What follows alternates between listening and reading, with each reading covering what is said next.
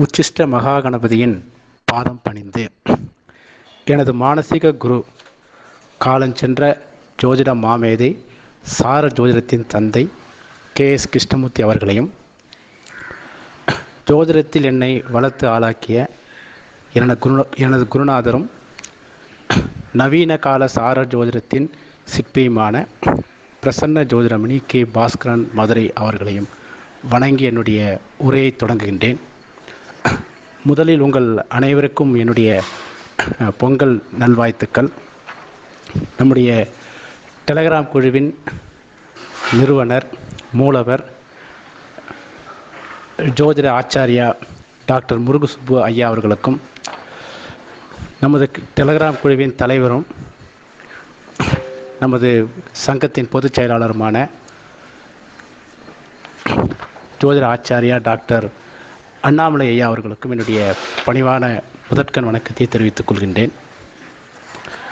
அடுத்தபடியாக நம்முடைய டெலகிராம் குழுவின் ஜான்சி ராணி என அனைவராலும் போற்றப்படுகின் போற்றப்படுகின்ற ஜோதிர ஆச்சாரியா வெண்ணிலா மேடம் அவர்களுக்கு என்னுடைய பணிவான வணக்கங்கள். மற்றும் இந்த குழு சமீப சமீப காலமாக அட்மின்கள் அனைவருக்கும் என்னுடைய பணிவான வணக்கங்கள். அவர்கள் தான் இந்த குழுவை வந்து ரொம்ப பிரமாதமாக பண்ணிட்டு வராங்க. குறிப்பாக சொன்னால் திரு சுந்தர வடிவேல் ஐயா அவர்கள் திரு பாலசந்தர் ஐயா அவர்கள் அவர்களுடைய பங்களிப்பு வந்து ரொம்ப அதிகம். சமீபத்தில் ராஜ்கிரண் ஐயா அவர்களுடைய பங்களிப்பும் ரொம்ப அற்புதமாக இருந்தது. பொதுவாக இந்த பட்டிமன்றம் அப்படின்னாவே என்ன அப்படின்னா ஒரு கருத்துக்களை ஒருவருக்கொருவர் தெரிந்து கொள்ள வேண்டும். வெறுமனே ஒரு பாவத்தை மட்டும் நாலாம் பாவத்தை மட்டும் பேசுங்க அப்படின்னா அதில் ஒரு விறுவிறுப்பு இருக்காது. அதனால்தான் மூணாம் பாவத்தை மட்டும் பேசுங்கனாலும் ஒரு விறுவிறுப்பு இருக்காது.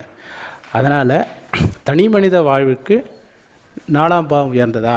மூணாம் பாவம் உயர்ந்ததா அப்படின்ட்டு நாம் ஒரு பட்டிமன்றம் மாதிரி வைக்கும்போது அதில் கொஞ்சம் விறுவிறுப்பு இருக்கும். எப்போதுமே ஒரு சினிமாவில் வெறும் காமெடி மட்டுமே இருந்திருந்தால் அதில் ஒரு விறுவிறுப்பு இருக்காது. அதனால தான் வில்லன் ஒருத்தர் வரார். வில்லனுக்கு ஹீரோவுக்கு சண்டை வரும்போது தான் அப்போ நம்ம அந்த விறு விறுவிறுப்பே வருது. அந்த மாதிரி தான் இங்கே கருத்து மோதல்கள் இருக்கும்போது தான் அது வந்து ஒரு நல்ல ஆழமான கருத்துக்களை நம்ம உள்வாங்க முடியும். அந்த வகையில் மாணவர்கள் ஒருவருக்கொருவர் மற்ற பட்டிமன்றம் மாதிரி இல்லாமல் இந்த பட்டிமன்றத்தில் பெரிய அளவுக்கு மனக்கசப்பு இல்லைங்கிறது எனக்கு ரொம்ப ஒரு சந்தோஷமான ஒரு நிகழ்ச்சி.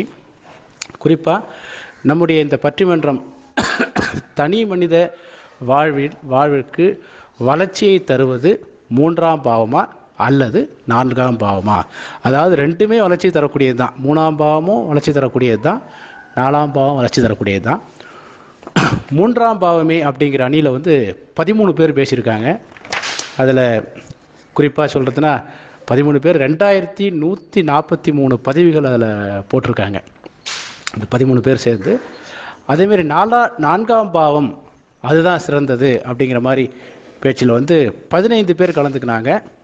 அதில் ஆயிரத்தி தொள்ளாயிரத்தி பதினாலு பதிவுகள். கிட்டத்தட்ட ரெண்டும் ஒரு இரநூறு பதிவு தான் வித்தியாசம். கிட்டத்தட்ட ரெண்டும் வந்து ஈக்குவலாக தான் வந்திருக்கு. அதாவது இங்கே பதிமூணு பேர் அங்கே பதினைந்து பேர் அப்படின்னு பார்க்கும்போது இதுவே வந்து ஒரு இந்த இது வந்து ஒரு நல்ல ஒரு ஆரோக்கியமான போட்டிங்கிற மாதிரி தான் இருந்தது. முதல்ல திரு முருகசுப்பு ஐயா அவர்கள் டிஸ்கஸ் பண்ணும்போது அவர் என்ன பண்ணாருன்னா யார் யாரெல்லாம் இப்போ பேசுகிறேன்ட்டு பதிவு பண்ணிட்டோம் அதுக்கப்புறம் நாமே போடுவோம். ஏன்னா எல்லாரும் சீனியர்ஸ்லாம் ஒரு பக்கம் போயிடுறாங்க. அது வந்து ஒரு பாலிட்டிக்ஸ் ஆகிடுது அப்படின்ற மாதிரி வருத்தப்பட்டார். நான் என்ன பண்ணேன்னா சரி பரவாயில்ல எப்படி போகுதுன்னு பார்ப்போம். ஏன்னா அவங்கவுங்களுக்கு பிடிச்ச தலைப்பில் விவாதம் பண்ணுறது தான் அது பட்டிமன்றத்தோட அழகு. நாமே ஒரு தலைப்பை கொடுத்து அவங்கள பேச சொன்னால் அதில் வந்து ஒரு உயிர் இருக்காது. அதனால் என்ன பண்ணுறோமோ பார்த்துக்கலாம் சார் போகிற போக்கு எப்படி இருக்கோ பார்த்துக்கலாம் அப்படின்னு. அந்த மாதிரி கிட்டத்தட்ட ரெண்டு பேர் ரெண்டு டீமே வந்து ரொம்ப பிரமாதமான நபர்கள் தான் ரெண்டு டீம்லேயும் வந்து ரொம்ப ஒரு அற்புதமான நபர்கள். அதாவது கிட்டத்தட்ட இருபத்தெட்டு இரு கிட்டத்தட்ட கரெக்டாக இருபத்தெட்டு நபர்கள் இதில் கலந்துருக்காங்க. அதாவது இந்த இருபத்தெட்டு நபர்களுக்கு என்னுடைய பணிவான வணக்கங்கள். ஏன்னா எவ்வளோ பேர் இருக்காங்க? இந்த டெலகிராம் குழுவில் இப்போதைக்கு எட்நூற்றி எண்பத்தி மூணு பேர் இருக்காங்க.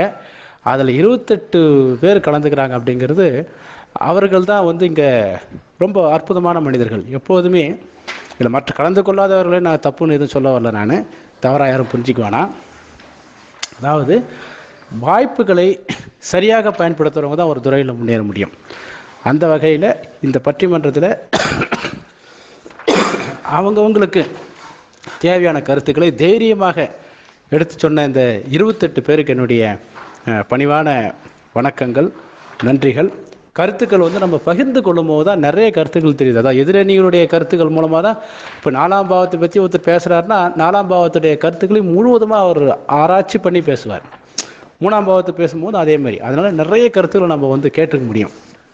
அந்த வகையில் இதில் அதிகமான பதிவுகளை போட்டது வந்து திரு ராஜ்கிரண் ஐயா அவர்கள். நானூற்றி நாற்பத்தி மூணு பதிவுகள். அதாவது மதியம் ஒன்றரை மணிக்கு இது செக் பண்ணது. இன்னைக்கு நானூற்றி நாற்பத்தி மூணு பதிவுகள். அதாவது இந்த பட்டிமன்றம் வந்து கரெக்டாக ஃபார்ட்டி எயிட் ஹவர்ஸ் நாம் போட்டது வந்து பதினாலாம் தேதி ரெண்டு மணிக்கு ஆரம்பித்து பதினாறாம் தேதி ஒரு மணிக்கு முடிகிற மாதிரி. போட்ட கிட்டத்தட்ட ஒரு ஃபார்ட்டி ஃபார்ட்டி எயிட் ஹவர்ஸ் இந்த ஃபார்ட்டி எயிட் ஹவர்ஸில் நானூற்றி நாற்பத்தி மூணு பதிவுகளை ராஜ்கிரண் ஐயா அவர்கள் போட்டிருக்காரு. அவருக்கு என்னுடைய பணிவான வணக்கங்கள். ரெண்டாவது சுந்தர வடிவேல் ஐயா அவர்கள் நானூற்றி பத்தொம்போது பதிவுகள். அவரும் வந்து மூணாம் பாவத்தை அதாவது ராஜ்கிரண் ஐயா அவர்கள் மூணாவது மூணாம் பாவத்தை பற்றி பேசியிருக்காரு. சுந்தர வடிவேல் ஐயா அவர்களும் மூணாவது பாவத்தை பற்றி பேசியிருக்காரு. சுந்தர வடிவேல் ஐயா அவர்கள் நானூற்றி பத்தொம்போது பதிவுகள் போட்டிருக்காரு.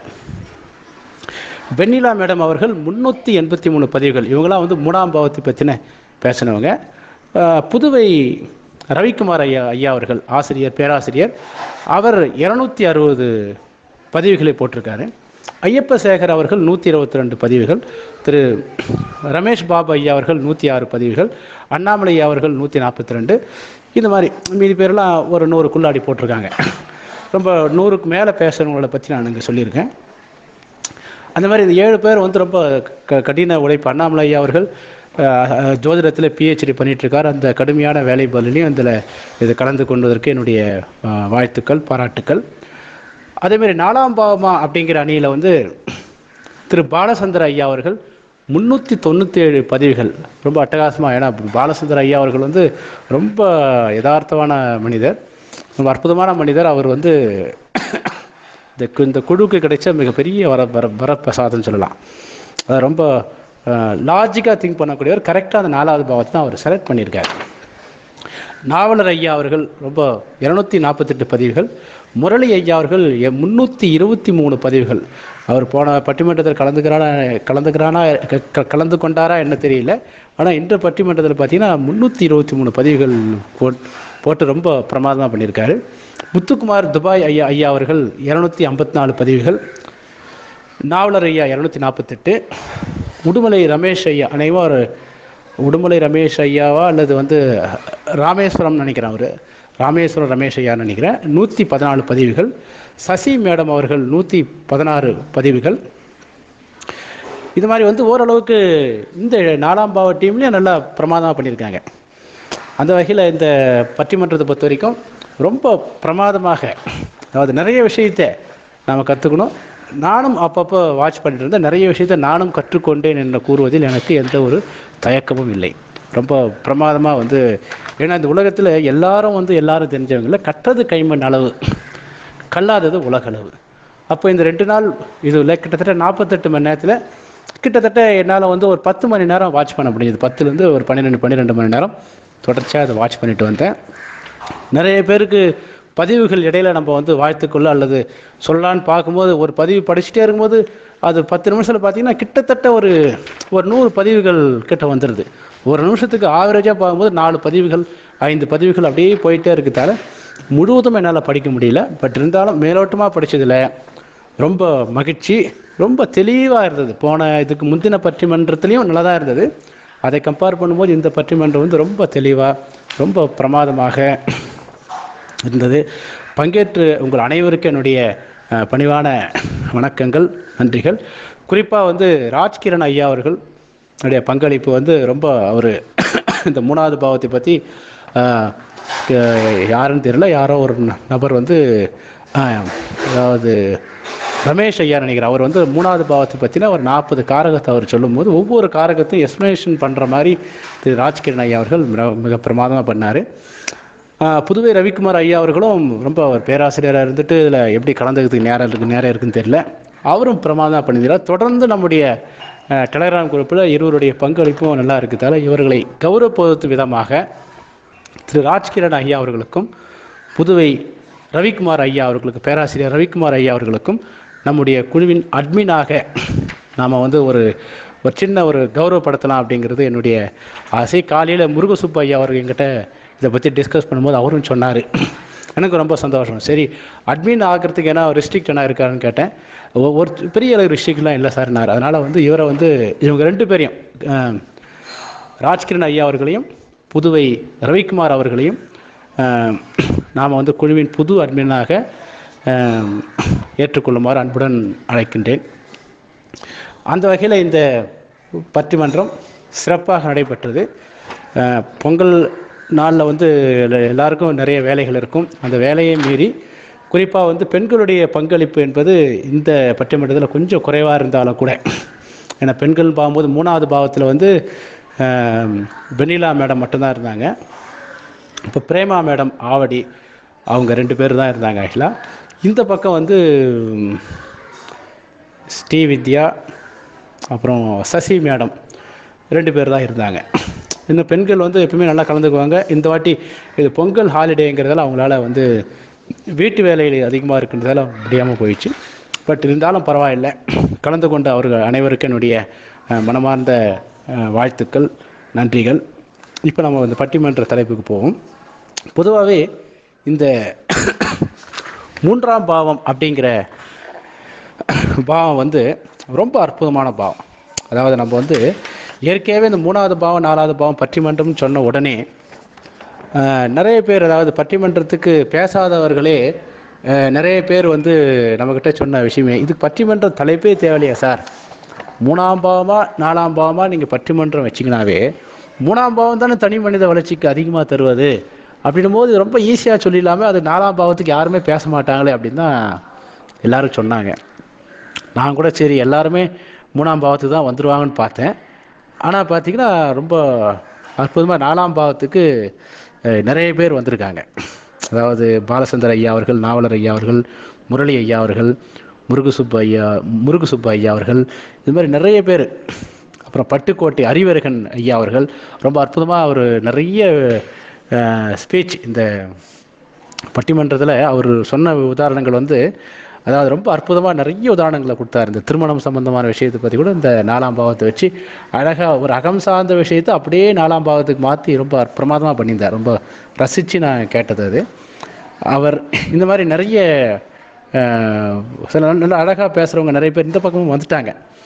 அதனால் வந்து நான் சரி பரவாயில்ல இது கொடுத்த தலைப்பு கரெக்டாக தான் இருக்கும் பொழுது அப்படின்னு விட்டுட்டேன். ஏன்னா வந்து நிறைய பேர் எங்கிட்ட கேட்டது நாலாம் மூணாம் பாவமாக நாலாம் பாவம்னா மூணாம் பாவம் தானே சார் நாலாம் பாவத்தில் என்ன சார் இருக்குது அப்படின்னு சொன்னாங்க. ஆனால் அதுக்கப்புறம் வந்து பட்டிமன்றத்தில் வேகம் என்பது கிட்டத்தட்ட மூணாம் பாவத்துக்கு எந்த அளவுக்கு வேகம் இருந்ததோ அதே அளவுக்கு நாலாம் பாவத்திலையும் இங்கே மக்கள் வந்து ரொம்ப ஒரு ஆக்டிவாகவே இருந்தாங்க. எனக்கு கிட்டத்தட்ட ரெண்டு சமபலத்தோடு தான் போகிற மாதிரி இருந்தது. இது இதேச்சமாக போன பட்டிமன்றம் வந்து நம்ம ஆறாம் பாவத்தையும் ஏழாம் பாவத்தையும் வைக்கும்போது ஏழாம் பாவத்துக்கு நிறைய பதிவுகளும் ஆறாம் பாவத்துக்கு குறைவான பதிவுகளும் ஆறாம் பாவம் அந்த மாதிரிலாம் இருந்தது.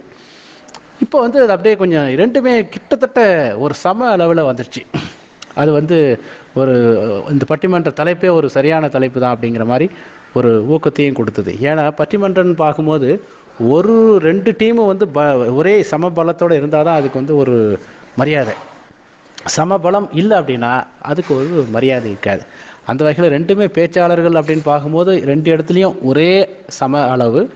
அது மட்டும் இல்லாமல் கருத்து கருத்துக்கள்லையும் ரெண்டுமே வந்து ஒரு சம அளவாக தான் இருந்தது ஆக்சுவலாக அந்த வகையில் இப்போது இந்த நாலாம் பாவத்தையும் மூணாம் மூணாம் பாவத்தையும் நாலாம் பாவத்தையும் தனி மனித வாழ்வில் வளர்ச்சியை தருவது அப்படின்னு பார்க்கும்போது நாம் எது அப்படின்னு பார்க்கும்போது முதல்ல இந்த மூணாம் பாவத்துடைய காரகமும் நாலாம் பாவத்துடைய காரகமும் ஜஸ்ட் எப்படி அப்படின்ற மாதிரி நம்ம மேலோட்டமாக ஒரு முன்னுரைக்கு வருவோம். முதல்ல காலபுருஷ தத்துவத்தின் அடிப்படையில் மூணாவது வீடு என்பது நமக்கு மிதுனம் அது வந்து உபயராசி காற்று ராசி. நாலாவது வீடுன்னு பார்க்கும்போது கடகம் அது வந்து ஸ்திர சரராசி நீர் ராசி. இது ரெண்டு அமைப்பை வச்சுக்கிட்டு அந்த காரங்களை நம்ம ஒத்து கவனிச்சா தெரியும். பொதுவாகவே உபயம் அப்படின்னாவே ஒரு விஷயத்தை முடிவுக்கு கொண்டு வந்து வேறு ஒரு விஷயத்தை ஆரம்பிப்பது. ஒரு விஷயத்தின் தொடக்கம் ஒரு விஷயத்தின் முடிவு இன்னொரு விஷயத்தின் தொடக்கம். திசைகளோடு பார்த்தீங்கன்னா உங்களுக்கு இந்த மூணாம் பாவத்து இந்த மிதன ராசியோட திசை அப்படின்னு பார்க்கும்போது அது வந்து உங்களுக்கு தென்கிழக்கு திசையாக இருக்கும். நாலாம் பாவத்துடைய திசை வந்து பார்த்திங்கன்னா உங்களுக்கு தெற்கு திசையாகவே இருக்கும் ஆக்சுவலாக அப்படி பார்க்கும்போது இந்த அதாவது ரெண்டு கலந்தது தான் அந்த உபயராசி. அதாவது ஒன்றின் முடிவு இன்னும் ஒன்றின் ஆரம்பம் அப்படிங்கிற மாதிரி. அதே மாதிரி காற்றுனாவே சொல்கிற காற்றுனாவே ஒரே இடத்துல இருக்காது அது பாட்டு போயிட்டே இருக்கக்கூடியது தான் காற்று. நீர் என்பது நீங்கள் நிலையாக இருக்கக்கூடியது. அதாவது இப்போ சரராசின்னு சொல்கிறீங்களே இது இப்படி என்ன சார் அர்த்தம் அப்படின்னா சரம் என்பது நாளுக்கு நாள் வளர வேண்டும் அப்படிங்கிற விஷயம் எல்லாமே சரராசியில் நம் முன்னோர்கள் வைத்திருக்காங்க. அது இந்த விஷயம்லாம் நாளுக்கு நாள் வளர வேண்டும். எல்லாருக்கும் அடிப்படையே தேவைகள். அதாவது ஒன்று நாலு ஏழு பத்து அப்படின்னு சொல்லக்கூடிய மேஷம் கடகம் துலாம் அப்புறம் பார்த்திங்கன்னா மகரம். இந்த நாலு ராசியை நான் வந்து நம்ம சரராசின்னு சொல்லுவோம். சில நேரங்களில் இந்த குழந்தை பிறப்பு கூட நம்ம வச்சு அதாவது எந்த நேரத்தில் குழந்தை பெற்றுக்கொள்ளலாம் அப்படின்னு ஒருத்தர் கேள்வி கேட்கும்போது கூட நாம் வந்து இந்த சர லக்னத்தில் குழந்தை பிறந்தால் நல்லது அப்படிங்கிற ஒரு பொது கருத்து நம்ம சொல்லியிருப்போம் ஆக்சுவலாக அது சர லக்னத்தில் பிறந்தவங்க எல்லாரும் ரொம்ப பெரிய ஆளுங்கன்னு சொல்ல முடியாது. பட் ஒரு ஜென்ரலாக அந்த லக்னத்தை நீங்கள் பார்க்கும்போது சர லக்னம் என்பது மற்ற உபயத்திலேயோ அல்லது சிற லக்னத்தை விட கொஞ்சம் உயர்ந்தது அப்படின்ற மாதிரி ஒரு ஜென்ரல் ஒரு கான்செப்ட் அந்த வகையில் இந்த நாலாவது வீடு காலபுருஷனின் நாலாவது வீடு சரம் என்பது ரொம்ப ஒரு ஒரு நல்ல அமைப்பு உபயத்தை விட. அப்போ அங்கேயே என்ன ஆகுதுன்னா இந்த மூணாவது பாவத்தை கொஞ்சம் அப்படியே இந்த நாலாவது பாவம் கொஞ்சம் மூணாவது பாவத்தை விட நாலாவது பாவம் உயர்ந்தது அப்படிங்கிற ஒரு புள்ளி அங்கேருந்து ஆரம்பிக்குது ஆகிக்கலாம் சரி இந்த இந்த மூணாவது பாவத்துக்கு வந்து நம்ம ஏற்கனவே சொன்ன மாதிரி இது வந்து ஒரு விஷயத்தை முடிவுக்கு கொண்டு வருது. தொடர்ச்சியாக ஒரு ஒரு நிலையான தன்மை இல்லை. அதாவது மூணாவது பாவம் என்பது மாற்றங்கள் அப்படிங்கிறதால மாறிக்கொண்டே இருப்பது தான் மூணாவது வீடு. நாலாவது வீடு நிலையானது. அப்போ அது ஸ்திர ராசி தானே வச்சுக்கணும். ஏன் சரராசியில் வச்சாங்கன்னா எடுத்த உடனே வரக்கூடியது ஸ்திரம். கொஞ்சம் கொஞ்சமாக வளரக்கூடியது சரம். அதாவது கொஞ்சம் கொஞ்சமாக வளர்ந்து வளர்ச்சி வந்து அதுக்கு மேலேயே அதாவது ஒரு செங்கல் வைக்கிறோம் அதுக்கு மேலே இன்னொரு செங்கல் வைக்கிறோம் அதுக்கு மேலே இன்னொரு செங்கல் வைக்கிறோம். இந்த மாதிரி கட்டினது தானே வீடு? இந்த மாதிரி ஒன்று ஒன்றா ஒன்று ஒன்றா அதுக்கு மேலே அதுக்கு மேலே அதுக்கு மேலே நிலையாக வச்சுட்டு இருக்கு பார்த்தீங்களா வளர்ந்துக்கிட்டே ஒரு ஒரேடியாக டக்குன்னு டெவலப் ஆகிடாது ஒரு ஸ்லோ அண்ட் ஸ்டடி இதுதான் வந்து நாலாவது பாவத்துடைய காரகம். மூணாவது பாவங்கிறது டக்கு டக்கு டக்குன்னு முடிச்சுட்டு போகிற மாதிரி. இப்போ பயணம் அப்படின்னா பயணம்னா எப்படி இருக்கணும்? ஒரு வண்டி வந்து பத்து கிலோமீட்டர் வேகத்தில் போகுது. இது நல்ல பயணமா இது? பயணம் அப்படின்னாவே வேகமாக இருக்கணும். பயணம் அப்படின்னாவே வேகமாக இருக்கணும். அது மாற்றங்களுக்கு உட்படுற மாதிரி இருந்தால் தான் அது பயணம். அந்த மாதிரி மூணாவது பாவத்துடைய விஷயங்கள் வந்து ரொம்ப வேகமாக போயிருந்தால அது வந்து அது அது வந்து கெட்டதுன்னு சொல்ல வரல சில விஷயத்துக்கு அப்படி தான் இருக்குது பயணம்னா வேகமாக தான் போகணும். ஒரு பொருள் உற்பத்தி பண்ணணும்னா அதுக்கு ஒரு சிஸ்டமேட்டிக்காக தான் பண்ண முடியும். அந்த வகையில் இந்த மூணாவது பாவம் என்பது நிலையற்ற பாவம். நாலாவது பாவமும் நிலையற்ற பாவம் நம்ம சொல்லுவோம். அதனுடைய காரகங்கள் நிலையானது. அதாவது நம்ம நிலையான பாவம்னு சொல்கிறது கடைசி வரைக்கும் ஒரே மாதிரி தன்மையை கொண்ட பாவங்கள் அப்படிங்கிறது ஒன்று ரெண்டு ஆறு ஏழு பத்துங்கிறது ஒரு மனுஷனுக்கு நிலையாக இருக்க வேண்டிய பாவங்கள் அப்படின்னு சொல்லுவோம். இந்த நாலாவது பாவம் நிலையான பாவங்கள் இல்லை. ஆனால் இதனுடைய காரகங்கள் வந்து நிலையான காரகங்கள். இதனுடைய காரகங்கள் அப்படின்னு பார்க்கும்போது அது வந்து உங்களுக்கு நிலையான காரங்களை கொண்டது தான் இந்த நாலாவது வீடு. ரெண்டாவது இந்த இந்த பாவத்தை ஒரு ஒரு பாவத்தை பற்றி நம்ம அளவீடு பண்ணும்போது நம்ம என்ன பண்ணுவோம்னா அந்த பாவத்தை அது திரிகோண ஸ்தானமா கேந்திர ஸ்தானமா அப்படின்னு பார்ப்போம். அப்போ திரிகோண ஸ்தானம் என்பது ஒன்று ஐந்து ஒம்பது இது வந்து ரொம்ப முக்கியமான முன்னோர்கள் நம்ம சொல்லுவாங்க. அந்த ஒன்று ஐந்து ஒம்போதில் மூணாவது பாவம் வரல நாலாவது பாவம் வரல. கேந்திர ஸ்தானங்கள் என்பது ஒன்று நாலு ஏழு பத்து அப்படிங்கிறது கேந்திரம். கேந்திரம் என்பது ரெண்டு அஞ்சு எட்டு பதினொன்று இருக்குது மூணு ஆறு ஒம்பது பன்னெண்டு பன்னெண்டும் இருக்குது ஆனால் அதெல்லாம் வந்து சுபகேந்திரம் இல்லை. சுபகேந்திரம் சொல்லக்கூடியது ஒன்று நாலு ஏழு பத்து. ஏன் அப்படின்னா அது லக்னத்துக்கு ரெண்டாவது பாவத்துக்கு தீமை தராத பாவங்கள் அப்படிங்கிற மாதிரி இருக்கிறதால அந்த சுப கேந்திரம் அப்படிங்கிறதுல இந்த நாலாவது பாவம் வந்துடுது அப்போ மூணாவது பாவம் இங்கே வரலை.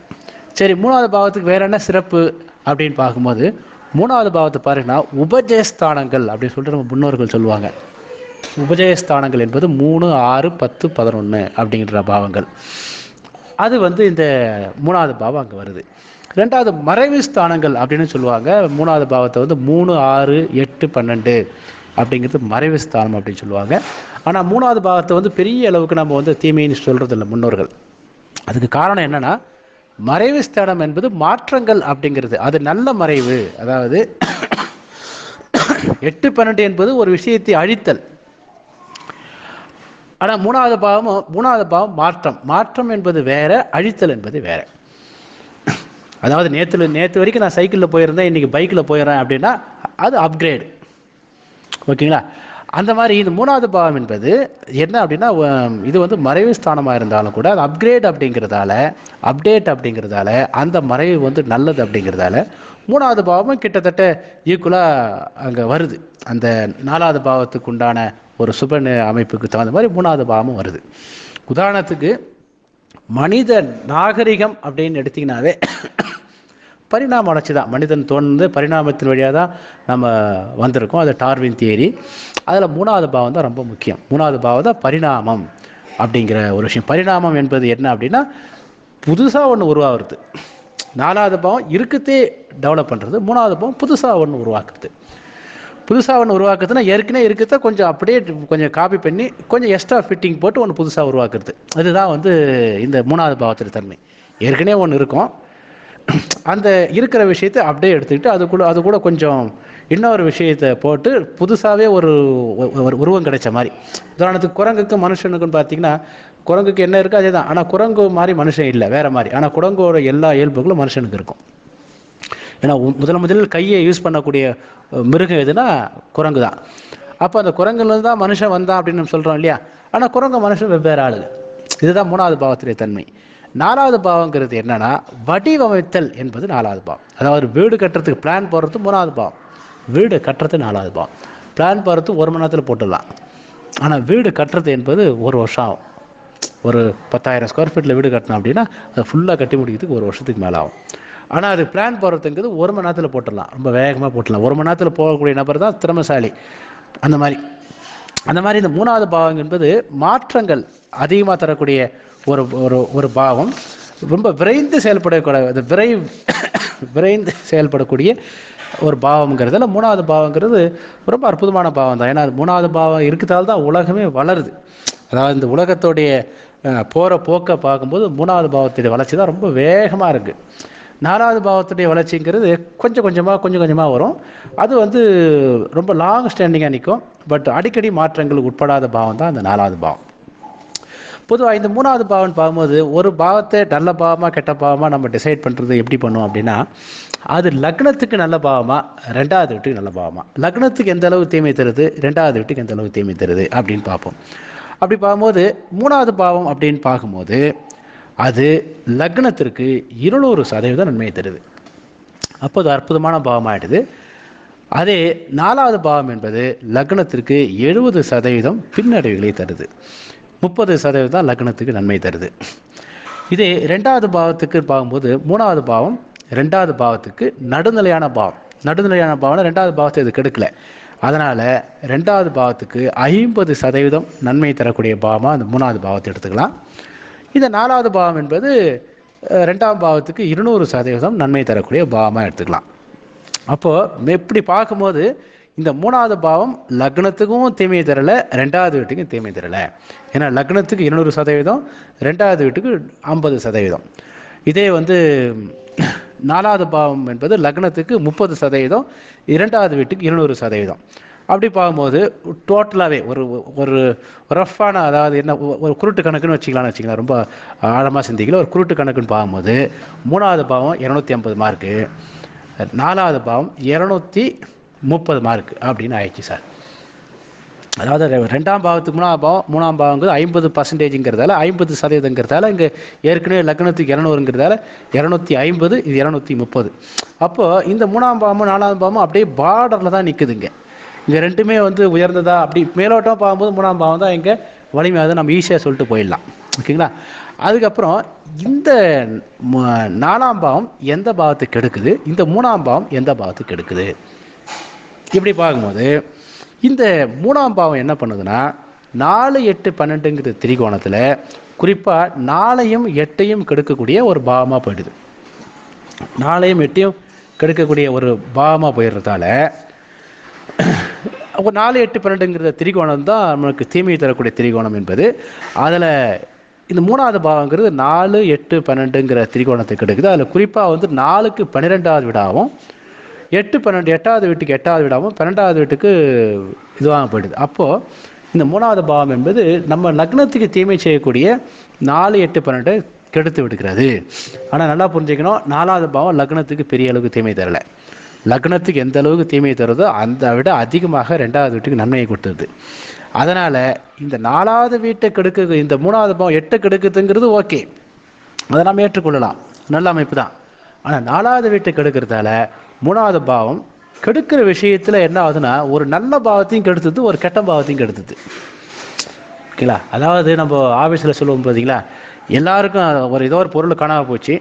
ஆஃபீஸில் ஒரு பணம் காணாமல் போச்சு. எல்லாரையும் போலீஸ் ஸ்டேஷனில் போயிட்டு உட்கார வச்சா அப்படி இருக்கும்? அப்போது அந்த மாதிரி இந்த மூணாவது பாவம் என்ன பண்ணுதுன்னா நாளையும் க்ளோஸ் பண்ணிடுது எட்டையும் க்ளோஸ் பண்ணிடுது. அப்போது இந்த மூணாவது பாவம் என்பது அதாவது அவசர முடிவு எடுக்கிற மாதிரி இந்த மூணாவது பாவத்துக்கு என்னன்னா ரொம்ப ரொம்ப யோசிக்கிறதுக்குலாம் நேரம் இல்லாமல் டக்குன்னு முடிவு எடுத்தது பார்த்தீங்களா அந்த வகையில் மூணாவது பாவம் கொஞ்சம் டவுன் ஆகிடுது சரி இந்த நாலாவது பாவம் எந்த பாவத்துக்கு எடுக்குது? அப்படின்னு பார்க்கும்போது நாலாவது பாவம் ஒன்று ஐந்து ஒம்போதுங்கிற திரிகோணத்தை கெடுக்குது. இதில் ஐந்தாவது வீட்டுக்கு பன்னெண்டாவது பாவம் ஒன்பதாவது வீட்டுக்கு எட்டாவது பாவமும் வந்ததால் ஐந்து ஒம்போதுங்கிற பாவத்தை கெடுத்து போயிடுது. இப்போ ஐந்து ஒம்பது நல்ல பாவமாக கெட்ட பாவமானு பார்க்கும்போது ஐந்து ஒம்பது லக்னத்துக்கு நல்லது. ஆனால் ரெண்டாவது வீட்டுக்கு தீமையான பாவம் குறிப்பாக ஐந்து ஒம்போதுங்கிறது பொருளாதாரத்தை சீரழிக்கக்கூடிய பாவம் மனுஷனை வந்து சிற்றின்ப நாட்டத்தில் அதிகமாக ஈடுபடக்கூடிய பாவங்கள். இந்த பாவத்தை இந்த நாலாவது பாவம் வந்து கெடுக்குது அப்படின்னா அது பரவாயில்லன்னு விட்டுடலாம். ஏன்னா அது வந்து மோசம்னு சொல்ல முடியாது. ஏன்னா ஐந்தாவது வீடும் ஒன்பதாவது வீடும் தான் ரொம்ப மோசமான வீடு நமக்கு க- அதாவது புறம் சார்ந்த விஷயத்துக்கு. அதில் அந்த பாவத்தை இந்த நாலாவது வீடு கெடுக்குதுன்னும் போது என்ன ஆகுதுன்னா இதை வந்து யார் கெடுதல் செய்கிறாங்களோ அவங்கள தான் கெடுக்குது அப்படிங்கிற வகையில் இந்த நாலாவது பாவம் மூணாவது பாவத்தை விட இப்போ கொஞ்சம் என்ன ஆகுதுன்னா ஒரு ஒரு பாசிட்டிவ் அப்ரோச்சில் நமக்கு சாதகமாக உள்ளது. ஏன்னா அது ஐந்து ஒன்பது இப்போ நீங்கள் கேட்கலாம் ஐந்தாவது குழந்தை பாக்கியம் ஒன்பதாவது இறையருள் எல்லாம் ஓகே தான். ஆனால் இதெல்லாம் வந்து தனி மனித உயர்வுக்கு இந்த ஐந்து ஒம்போதெல்லாம் பெரிய அளவுக்கு வளர்ச்சியை கொடுக்காது. அது ஐந்தாவது பாவம் வந்து பத்தாவது வீட்டு தொடர்பு கொண்டால் அது சிறப்பு. பத்தாவது வீடு ஐந்தாவது விட்டு தொடர்பு கொண்டா அது சிறப்பு இல்லை. எந்த பாவமும் ஐந்து ஒம்பது தொடர்பு கொள்ளும்போது பொருளாதார வளர்ச்சியை குறைச்சிடும். அந்த வகையில் இந்த நாலாவது பாவம் என்ன பண்ணுதுன்னா கொஞ்சம் அதை இந்த ஐந்து ஒம்பது கெடுக்குதுங்கிறதால நாலாவது பாவம் ஒரு வகையில் சிறப்பு அப்படின்னு எடுத்துக்கிறோம். சரி இந்த லக்னத்துக்கு அது செவன்ட்டி பர்சன்டேஜ் தேவை தருது அப்படின்னா என்ன சார்? அதாவது லக்னம் என்பது ஒரு சுய கௌரவம் அப்படின்னு சொல்லுவோம். சுய கௌரவம் ஒரு மரியாதை அப்படிங்கிறது. நாலாவது பாவத்துக்கு அந்த மரியாதை வந்து லக்னத்தோட மரியாதை கெடுத்துரும். ஏன்னா நாலாவது பாவத்தின் வழியாக செய்யக்கூடிய வேலைகள் அனைத்தும் கருவிகள் வழியாக செய்யக்கூடிய வேலைகள். மூணாவது பாவத்தினுடைய வேலைகள் எல்லாமே என்ன அப்படின்னு பார்த்தீங்கன்னா எல்லாமே லக்னத்திலிருந்து செய்யக்கூடிய வேலைகள் அப்படின்னு எடுத்துக்கலாம். ஏன்னா நாலாவது பாவத்துடைய அந்த மூலம் என்னன்னா ரெண்டுலேருந்து தான் நாலாவது பாவமாக வருது மூணு வந்து லக்னத்திலேருந்து வருது. ஒரு சின்ன உதாரணம் சொல்கிறேன் பாருங்களேன். என்னுடைய பொண்ணு ரெண்டாவது பொண்ணு வந்து ஒன்றாவது படிக்கும் படிக்கும்போது என்ன படிச்சுன்னா ஒரு யானையை வரைஞ்சி கொண்டாந்து காமிச்சது. நான் வந்து ரொம்ப சந்தோஷ சந்தோஷம் ரொம்ப சந்தோஷப்பட்டேன். அதாவது ஒன்றாவது படிக்கிற அஞ்சு வயசில் ஒன்றாவது படிக்கிற குழந்தை இவ்வளோ பிரமாதமான யானையை வந்து வரைஞ்சி கொண்டாந்து கொடுக்குதே ரொம்ப அதிசயமாக இருந்தது எனக்கு. கொஞ்ச நேரத்துக்கு முன்னாடி தான் அது வரைய ஆரம்பிச்சது. நான் இப்போ போனப்போ சார்ட்டில் வரைஞ்சிட்டு இருந்தாங்க ஆக்சுவலாக எனக்கு வந்து ரொம்ப அதிசயமாக போச்சு. இவ்வளோ அற்புதமான குழந்தை வந்து நமக்கு கிடைச்சிருக்கு. ரொம்ப சந்தோஷமாக இருந்தேன். உடனே எப்படி இவ்வளோ பிரமாதமாக வரைஞ்சேன் அப்படின்னு சொன்ன உடனே ஏனை மாதிரி ஒரு டெம்ப்ளேட் பக்கத்தில் இருந்தது. என் ஒய்ஃப் வந்து இதை இதை அப்படியே மேலே வச்சு என் பொண்ணு வரைஞ்சது அப்படின்னு சொன்ன உடனே எனக்கு அந்த இது டக்குன்னு குறைஞ்சி போச்சு. அதாவது ஏன மாதிரி ஒரு டெம்ப்ளேட் இருக்குது அது மேலே அப்படியே கோடு போட்டு வரைதல் என்பது ரொம்ப எளிது. ஆனால் அந்த டெம்ப்ளேட் இல்லாமல் அப்படியே வரைதல் என்பது கொஞ்சம் ஒரு- ஒரு இண்டிவிஜுவல் இண்டிவிஜுவல் கெப்பாசிட்டி வேணும். அப்போ தான் உடனே அது காமிச்ச உடனே டெம்ப்ளேட்டை பார்த்த ஓஹோ அப்படியா? இது சிம்பிளாக வரைஞ்சிடலாமே நாங்களும் வரைஞ்சிருவேனே அப்படின்ட்டு நான் போயிட்டேன். அதாவது இதுதான் வந்து இந்த லக்னம் நாலாவது பாவம் செய்யக்கூடிய வேலை. நாலாவது பாவத்துடைய சேவைகள் செய்யக்கூடிய வேலைகள் எல்லாமே கருவிகள் மூலமாக செய்யக்கூடிய வேலை. இந்த கருவிகள் மூலமாக செய்யக்கூடிய வேலைகள் அப்படின்னு பார்க்கும்போது அதில் வந்து எப்பொழுதுமே ஒரு ஒரு இம்ப்ரெஷன் நமக்கு வராது. தனியாக அதாவது ஒரு ரெண்டு ஹீரோக்கள் வந்து சண்டை போடுறாங்கன்னா ரெண்டு பேரும் ஒரிஜினல் கத்தியோட சண்டை போட்டுறாங்கன்னா அந்த கத்தியில் ஒரு சவுண்டுக்கு கேட்டிருந்தா உண்மையாகவே அடி உண்மையாகவே வ- வரும்போது அது கொஞ்சம் ஒன்றும் இல்லை. நம்ம ஒரு சினிமாவில் ஒரு படத்தை நேரடியாக ஒதுக்கி அந்த படம் ஷூட்டிங் பண்ண இடத்துலேயே பார்க்கும்போது ஒரு ஒரு இனம் புரியாத ஒரு சந்தோஷம் வருது இல்லையா? கிரிக்கெட் நேரில் பார்க்குறத விட சாரி டிவியில் பார்க்கறத விட நேரில் போய் பார்க்கும்போது ஒரு ஒரு இது வருது இல்லையா?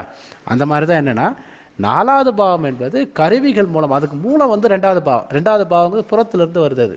அது லக்னத்துலேருந்து வரல. அதனால் இயற்கையாகவே அதனுடைய செயல்கள் வந்து ஒரு ஒரு பிரமிப்பை நமக்கு ஏற்படுத்தாது. அது யார் வேணா பண்ணிக்கலாம். இந்த நாலாவது பாவத்துடைய சம்பவத்தை யார் வேணா பண்ணிக்கலாம்.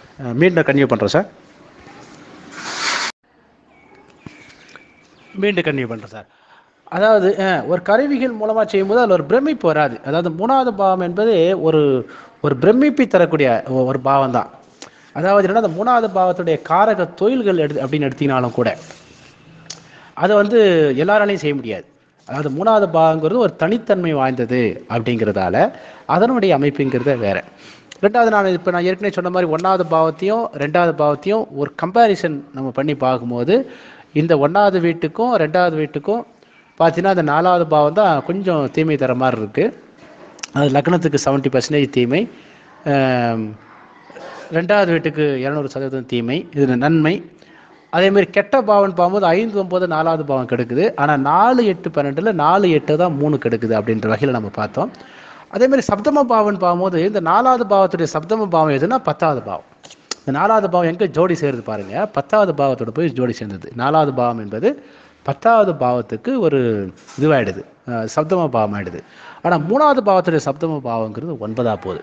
அப்போ இங்கே என்ன ஆகுதுன்னா நாலு பத்து என்பது நல்ல பாவமாக போயிடுது பொதுவாகவே மூணு அது மூணாவது பாவம் என்ன பண்ணுதுன்னா அது தன்னை தன்னோட ஒருத்தரை ஒருத்தரை இணைக்கணும் அப்படின்னா அது ஒன்பதாவது பாவமாக போயிடுது. இந்த ஒன்பதாவது பாவம் அந்த அளவுக்கு ஒரு சிறப்பான பாவம் இல்லை. அதாவது நம்ம தெய்வீக பாவம்னு சொன்னாலும் கூட நாம் இங்கே கேள்வி என்னன்னு பார்த்தா தனி மனித உயர்வுக்கு இந்த தனி மனித வளர்ச்சி உயர்வு இது எல்லாமே வந்து நம்ம கண் கூட பார்க்குறோன்னா அந்த காலத்தில் ரெண்டாயிரம் வருஷத்துக்கு முன்னாடியே திருவள்ளுவர் சொல்லிட்டார் அருள் இல்லாருக்கு அவ்வுலகம் இல்லை பொருள் இல்லாருக்கு இவ்வுலகம் இல்லைன்ட்டு. அப்போ பொருளை வைத்து தான் நம்ம டிசைட் பண்ணுறோம் பொருள் அப்படின்னாவே அதுவே ரெண்டு மீனிங் கொண்டது. மீனிங் அப்படிங்கிறது ஒன்று ரெண்டாவது பணம் என்பதும் ஒன்று அந்த பணம் இருந்தால் தான் வாழ்க்கையில் அர்த்தம். வாழ் வாழ்க்கையினுடைய அர்த்தமே அங்கே பொருளாதாரத்தை பேஸ் பண்ணி தான் எல்லாமே இருக்குது ஆக்சுவலாக பணம் இல்லைன்னா எதுவும் பண்ண முடியாது. அந்த வகையில் ஒரு மனிதனுடைய வாழ்வில் வளர்ச்சியை தருவது என்பது முழுக்க முழுக்க பொருளாதாரம் சம்பந்தமான விஷயம் தான் ஏன்னா பொருளாதார வை பொருளாதாரத்தை வைத்து தான் ஒருவரை நாம் எடை போட வே முடியும். பொருளாதாரம் இல்லாமல் ஒருத்தர் நல்லவர் கெட்டவர் அப்படிங்கிறதுல நம்ம வந்து உடனடியாக நம்ம வந்து கணிக்க முடியாது. ஒரு ஹோட்டலுக்கு போகிறோம் நல்லவங்களாம் சாப்பிட்டு போங்க பணம் கொடுக்காதீங்கன்னு சொல்ல முடியுமா? முடியாது. அதாவது வெறுங்கையில் முழம் போட முடியாது. இதை சொல்லுவாங்க கிராமத்தில் பழமொழி. அந்த வகையில் இந்த நாலாவது பாவம் அதற்கு ஏழாவது பாவமாக யாரை வச்சுக்குதுன்னா பத்தாவது பாவ பாவத்தை வச்சுட்டு இருக்கு அந்த பத்தாவது பாவம் சேரும் போது என்ன ஆகுதுன்னா நாலாவது பாவத்துடைய தன்மை வந்து கூட தான் செய்யுது குறையில. அதாவது நாலாவது பாவம் நம்ம போட்டின்னு சொல்லுவோம். நாலு பத்து அப்படின்னு வரும்போது என்னன்னா ஒரு பெரிய மனிதரோட நம்ம போட்டி போகிறது அதாவது ஈக்குவல் பலம் அப்படிங்கிற மாதிரி நாலு பத்துங்கிறது மிகப்பெரிய மனிதர்களோட போட்டி போகிறது அர்ஜுனனும் கர்ணனும் மாதிரி இருந்தால் நாலு பத்து. வெறும் பத்துனா அர்ஜுனனுக்கு வெறும் பத்து மாதிரி இருந்தால் கர்ணன் அப்படிங்கிற ஒரு ஆளே வந்திருக்க மாட்டான். கர்ணன் அப்படிங்கிறவரே பிக்சரில் பிக்சரில் வந்திருக்க மாட்டார். அப்போ நாலு பத்து அப்படிங்கிறது உங்களுக்கு வந்து நல்ல அமைப்பு. மூணு ஒம்போதுங்கிறது மூணாவது பாவம் என்பது நல்ல பாவம் தான். அதை நம்ம தீய பாவம்னு சொல்லலை. அதனுடைய ஜோடி பார்த்தீங்கன்னா ஒன்பதாவது பா ஒன்பதாவது பாவமாக வந்துடுறதால இது என்ன ஆகுதுன்னா உங்களுக்கு மூணாவது பாவத்துடைய திறமைகள் வந்து அங்கே நீர்த்து போகுது அங்கே. அது திறமைகள் அப்படிங்கிறது நான் என்ன சொல்ல வரேன்னு பார்த்தீங்கன்னா பொருள் சார்ந்த விஷயத்தில். அங்கே வெறும் மூணை விட மூணு ஒம்பது பொருளாதார சம்பந்தமான விஷயத்துக்கு வீக்காக போயிடுது. இங்கே அகம் சார்ந்த விஷயங்கள் வலுவடையுது அது வேறு விஷயம். அகம் சார்ந்த விஷயங்கள் வலுவடையுதுங்க வேறு விஷயம். ஆனால் பொதுவாகவே இந்த வளர்ச்சி என்பது நாம் சொல்லக்கூடிய வளர்ச்சிகள் எல்லாமே பொருள் சார்ந்து போகிறதால வேறு வழி இல்லைங்க. மூணு ஒம்போதுங்க ஒம்போதுங்கிறது ஒரு ஒரு மைனஸ் பாயிண்ட் மாதிரியே தான் அங்கே போகிற மாதிரி ஆயிடுது. அதனால் இந்த நாலாவது பாவங்கிறது ரொம்ப ஒரு ஒரு அற்புதமான ஒரு பாவம் தான் இது. ஆனால் என்ன இதில் என்ன ஒரு பெரிய மைனஸ்னா இது ஒரு பிரமிப்பை தராது. ரெண்டாவது இதில் வந்து நிறைய கட்டுப்பாடுகள் இந்த இந்த பாவத்தோட காரகத்தை நல்லா நம்ம பார்த்தீங்கன்னாவே தெரியும். இந்த நாலாவது பாவத்துடைய காரகத்தையே ஒரு பிரமிப்பை தராது வேகம் இருக்காது ஸ்லோ அண்ட் ஸ்டடி அதுதான் நான் நாலாவது பாவத்துடைய ஒரு காரகம். ஸ்லோ அண்ட் ஸ்டடி அப்படிங்கிறதால ஒரு நிதானம் பொறுமை இதெல்லாம் நாலாம் பாவத்துடைய காரகம். ஏதாவது தொலைநோக்கு பார்வை அதாவது நிகழ்காலம் என்பது மூணாவது பாவம்னா எதிர்காலம் என்பது நாலாவது பாவம். நாலாவது பாவத்தில் காரகத்தை நீங்கள் பாருங்களேன். இப்போ நிகழ்காலம் மூணாவது பாவத்தை நிகழ்காலம்னு எடுத்துருங்க நாலாவது பாவத்தை எதிர்காலம்னு வச்சுங்க. இப்போது உதாரணத்துக்கு மூணாவது பாவங்கிறத நாம் வந்து சும்மா சாதாரணமாக சொன்னால் செல்ஃபோன் வச்சுக்குவோம். செல்ஃபோன் அப்படிங்கிறது அதனுடைய லைஃப் என்பது அதிகபட்சமாக மூணு வருஷம் நாலு வருஷம் தான். வீடு வாகனம் இதனுடைய லைஃப்லாம் கொஞ்சம் அதிகமாக இருக்கும். நீண்ட கால தொலைநோக்கு ப- தொலைநோக்கு விஷயத்தில் நம்ம வீட்டையே நம்ம வாங்குறோம். ரெண்டாவது நாலாவது பாவத்துடைய காரகமே அது வந்து நமக்கு மட்டும் இல்லாமல் நம்ம சந்ததிக்கும் அப்படிங்கிற நோக்கத்தில் வரக்கூடிய ஒரு அமைப்பு தான் இது வந்து நம்ம தியாகம்னு சொல்ல வரல. ஒரு தொலைநோக்கு பார்வையில் பண்ணக்கூடிய அமைப்பு தான் இந்த இந்த நாலாவது பாவத்துடைய தன்மை. அதாவது நம்ம பட்டிமன்றத்திலே திரு விஸ்வநாதன் ஐயா அவர்கள் ஒரு சின்ன விஷயத்தை சொல்லியிருப்பார். எறும்பு கூட தன்னுடைய உணவை சேர்த்து ஒரு இடத்துல வச்சிட்டு இருக்கு அப்படின்வார் இதுதான் வந்து இந்த நாலாவது பாவத்துடைய தன்மை. அதாவது ஐந்தாவது பாவம் என்பது இயற்கை நாலாவது பாவம் என்பது செயற்கை. ஐந்தாவது பாவம் இறைவன் நமக்கு தரக்கூடிய விஷயங்கள் அனைத்தும் ஐந்தாவது பாவம். நாலாவது பாவம் என்பது நமக்கு நாமே ஏற்படுத்திக் கொள்ளக்கூடிய கட்டுப்பாடுகள் நமக்கு நாமே ஏற்படுத்தி ஏ- ஏற்படுத்தி கொள்ளக்கூடிய வரைமுறைகள் நமக்கு நாமே ஏற்படுத்திக் கொள்ளக்கூடிய நல்ல நமக்கு சாதகமாக நாம் ஏற்படுத்தக்கூடிய விஷயங்கள் அனைத்தும் இங்கே நாலாவது பாவத்தில் வந்துடுது அப்போ அதனால் எறும்புக்கு கூட அதனால தான் நம்ம பொறுப்புணர்ச்சி சேமித்து வைத்தல். இதை இன்னைக்கு கிடைக்காம இருந்தாலும் நாளைக்கு நமக்கு இன்னைக்கு கிடைக்கக்கூடிய விஷயத்தை இன்னைக்கே நாம் அனுபவிச்சு இல்லாமல் நாளைக்கு சேர்த்து வைக்கும் அப்படின்னு சொல்கிறோம் இல்லையா? இந்த மாதிரி இந்த மாதிரி பொறுப்பு தான் வந்து இந்த நாலாம் நாலாம் பாவத்துடைய தன்மையில் இருக்குது பொதுவாக இந்த பொறுப்புணர்ச்சி யாருக்கு வரும்னா மெச்சூரிட்டியாக இருக்கணும் தான் வர முடியும். சின்ன வயசில் கொஞ்சம் கம்மியாக இருக்கும் வயசாக தான் கொஞ்சம் இந்த பொறுப்புணர்ச்சிகள் எல்லாம் வரும்.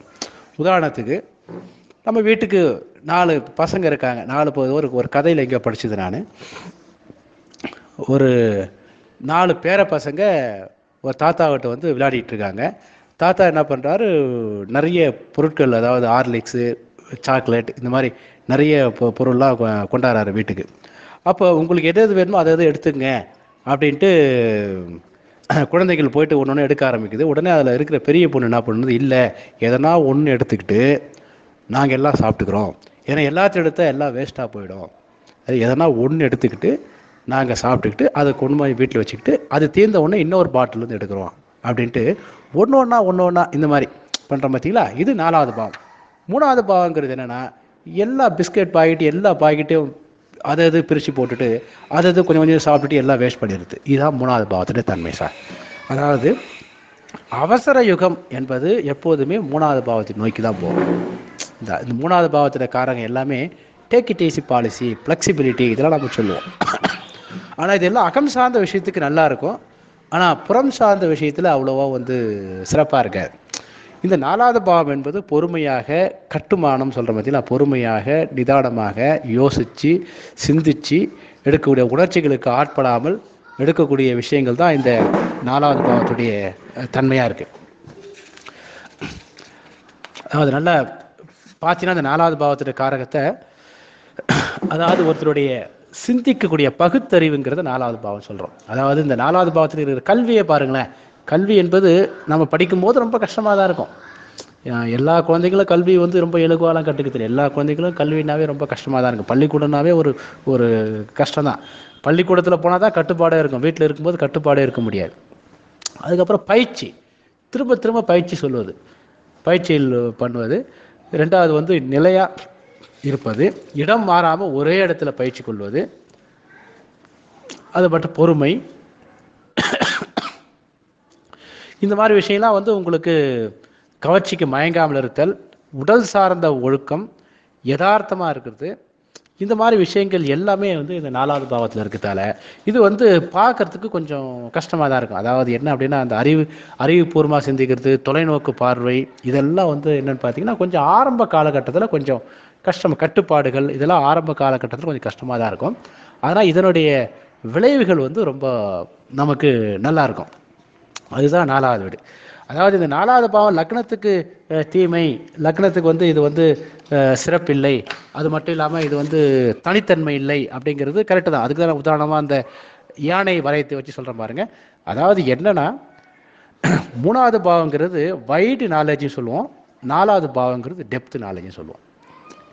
இப்போ இந்த நாலாவது பாவம் வலுத்து இருக்கிறவங்க நாலாவது பாவம் வலுத்து இருக்கிறவங்க வலுத்து இருக்கிறவங்கன்னா என்ன அர்த்தம்னா ஒரு ஜாதகத்தில் நிறைய கிரகங்கள் நாலாவது பாவத்தையும் நிறைய பாவங்கள் நாலாவது பாவத்தையும் தொடர்பு கொண்டவர்கள்.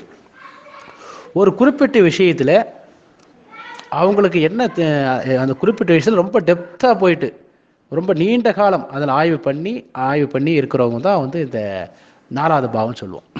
அவங்களால திடீர்னு ஒரு புதிய விஷயத்தை கற்றுக்க முடியாது.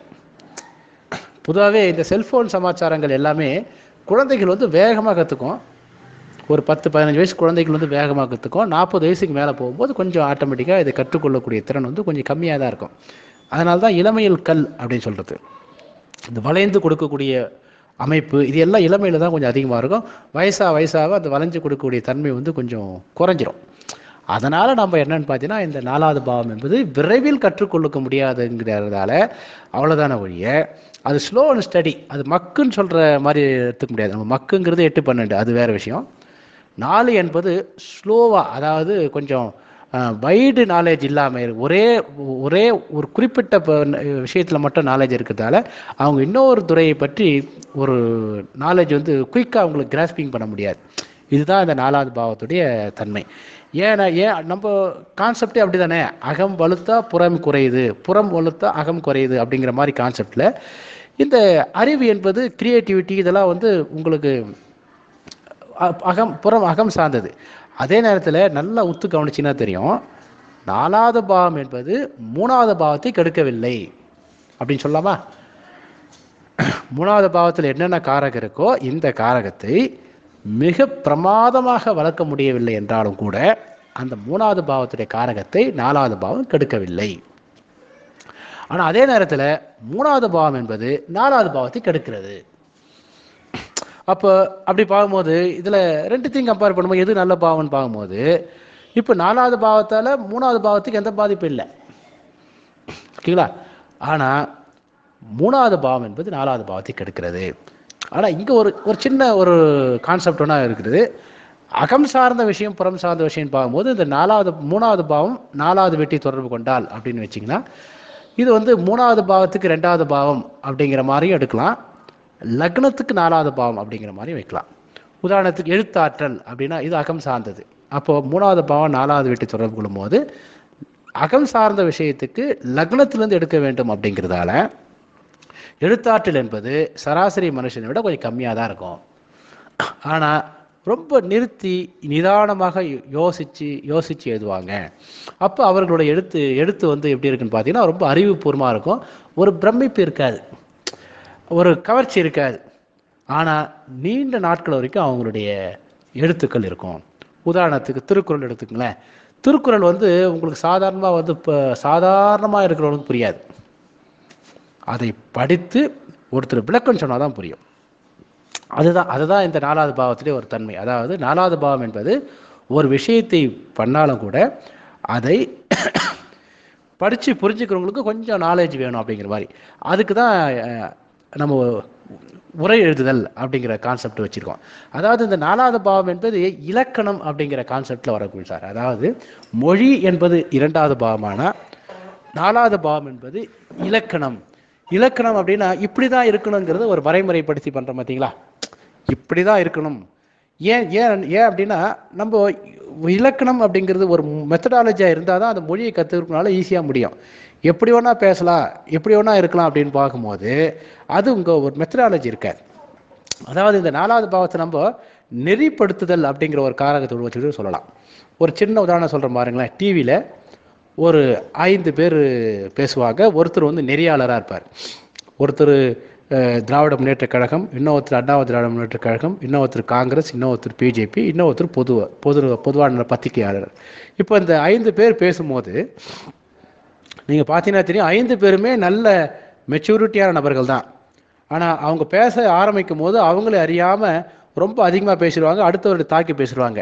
இந்த நெறிப்படுத்தக்கூடிய நபர் இல்லை அப்படின்னா என்ன ஆகுனா அவங்களால வந்து அந்த போட்டியை அடக்காது யாரும் லைவாக நடத்துகிற அந்த போட்டி வந்து ரொம்ப பெரிய சிக்கலாக போயிடும். இந்த நெறிப்படுத்தக்கூடிய நபர் வந்து அப்பப்போ குறுக்குள்ளே போயிட்டு போயிட்டு போயிட்டு போயிட்டு தடுத்து தடுத்து தடுத்து தடுத்து நிறுத்துறாரு பார்த்தீங்களா இதுதான் இங்கே நாலாவது பாவம் சார். அதாவது அணை அப்படின்னு பார்க்கும்போது ஒரு ஏரியில் வந்து கரை இருக்கு பாருங்க. இந்த கரை தான் நாலாவது பாவம். இந்த கரை இல்லை அப்படின்னா உங்களுக்கு எதுவுமே பண்ண முடியாது. அந்த கரை இல்லைன்னா ஏரி ஏரிக்கு பிரயோஜனமே இல்லை. அந்த ஏரியோட தண்ணியை தேக்கி வைக்கவே முடியாது.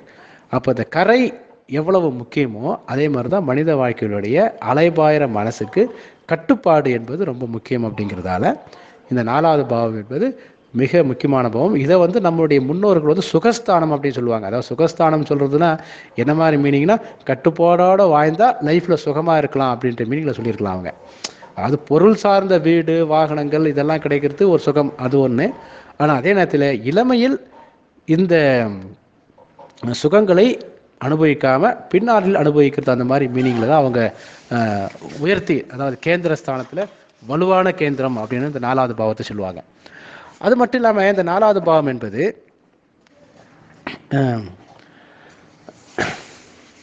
ஒரு ஆதார சக்தி அதாவது ஒரு ஒரு கரு ஒரு கதை அப்படின்னா அந்த அந்த கதை அந்த கதைக்கு அதாவது ஒரு சினிமா வந்து ஒரு நூறு கோடி ரூபாய்க்கு பணம் படம் எடுக்கிறாங்கன்னா ரஜினிகாந்தோட படம் எடுத்தாலும் கூட அந்த படத்துக்கு எது ரொம்ப முக்கியமான விஷயம் என்னன்னா அந்த படத்தோட கதை என்ன?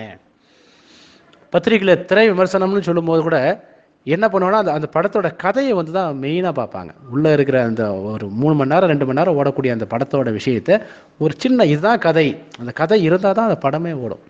ஏன்னா ஒரு கிட்டத்தட்ட ஒரு பத்து வருஷத்துக்கு முன்னாடி ரஜினிகாந்த் கிட்ட ஒருத்தர் பேட்டி கேட்குறாங்க எனக்கு முன்ன மாதிரிலாம் படம் ரொம்ப வரத்தில்லையா சார் உங்களுது அப்படின்ட்டு. உடனே அவர் சொல்கிறாரு இப்போ கதை இல்லைங்க இப்போ. நல்ல கதை இருந்தால் நான் ஏன் நடிக்க மா நடிக்க மாட்டேன்னு சொல்கிறேன் கதை இல்லைங்க அப்படின்வார் அப்போது இந்த கதை அப்படிங்கிறது ஒரு சினிமாவுக்கு எப்படி முக்கியமோ இந்த சினிமாங்கிறது அஞ்சாவது பாவம் பொழுதுபோக்கு. அதற்கே நாலாவது பாவம் ரொம்ப முக்கியம்னு வருது வருது பாருங்கள் சினிமாங்கிற அந்த பொழுதுபோக்கு விஷயத்துக்கு பொழுதுபோக்குற விஷயம் தான் அதில் கதை இருக்கணும்னு கட்டாயமே இல்லை. இருந்தாலும் கதை இருந்தால் தான் அங்கே வேல்யூ அப்போது அதுதான் வந்து மூலம் அப்படிங்கிறது. அந்த வகையில் தான் வந்து நம்ம வந்து இந்த நாலாவது பாவத்தை நாம் வந்து ஒரு வளர்ச்சி ஒரு நல்ல பாவம் அப்படின்னு சொல்கிறதுக்கு காரணம் என்னன்னு பார்த்தீங்கன்னா அது மேலோட்டத்துக்கு பா மேலோட்டமாக பார்க்கும்போது நாலாவது பாவம் கொஞ்சம் கொஞ்சம் வில்லங்கமான மாதிரி தான் தெரியும். ஆனால் கட்டுப்பாடுகள் நிறைய இருக்கிறதால அது வந்து தெரிஞ்சாலும் கூட அது வந்து ஒரு நல்ல பா பாவம் தான் ஒரு கம்பேரிசன் பண்ணும்போது மூணாவது பாவத்தையும் இதையும் அப்படியே தராசில் வைக்கும்போது நாலாவது பாவம் தான் கொஞ்சம் கீழே இறங்குற மாதிரி இருக்குது அதேமாதிரி நிறைய விஷயத்துக்கு நம்ம ரூல்ஸ் அண்ட் ரெகுலேஷன் எல்லா வித அறிவியல் கோட்பாடுகள் எல்லாம் நாலாவது பாவம் தான் அறிவியல் கோட்பாடுகள் சொல்கிறோம் பார்த்தீங்கன்னா அது எல்லாமே உங்களுக்கு நாலாவது பாவத்தில் வரக்கூடிய இதுதான். ரெண்டாவது நாலாவது பாவம் தான் ஒரு மனுஷனை வந்து ஒரு தன்னம்பிக்கை தரக்கூடிய பாவமாக இருக்குது உதாரணத்துக்கு ஒரு மனுஷன் வந்து முதல் முதல்ல ஒரு வீடு கட்டி கிரகப்பிரவேசம் பண்ணிட்ட பிறகு அவனுக்கு இருக்கக்கூடிய ஒரு கடன் வாங்கி இருந்தாலும் கூட அவனுக்கு சமுதாயத்தில் இருக்கக்கூடிய ஒரு மதிப்பு அவனுக்குன்னு இருக்கக்கூடிய ஒரு ஒரு கௌரவம். இனிமேல்ட்டு அவனுக்கு வேலை கிடைக்காம போனாலும் பெரிய அளவுக்கு இல்லை. ரெண்டாவது இந்த மூணாவது பாவத்துக்கும் நாலாவது பாவத்துக்கும் என்ன வித்தியாசம் சொல்லிடுறேன்.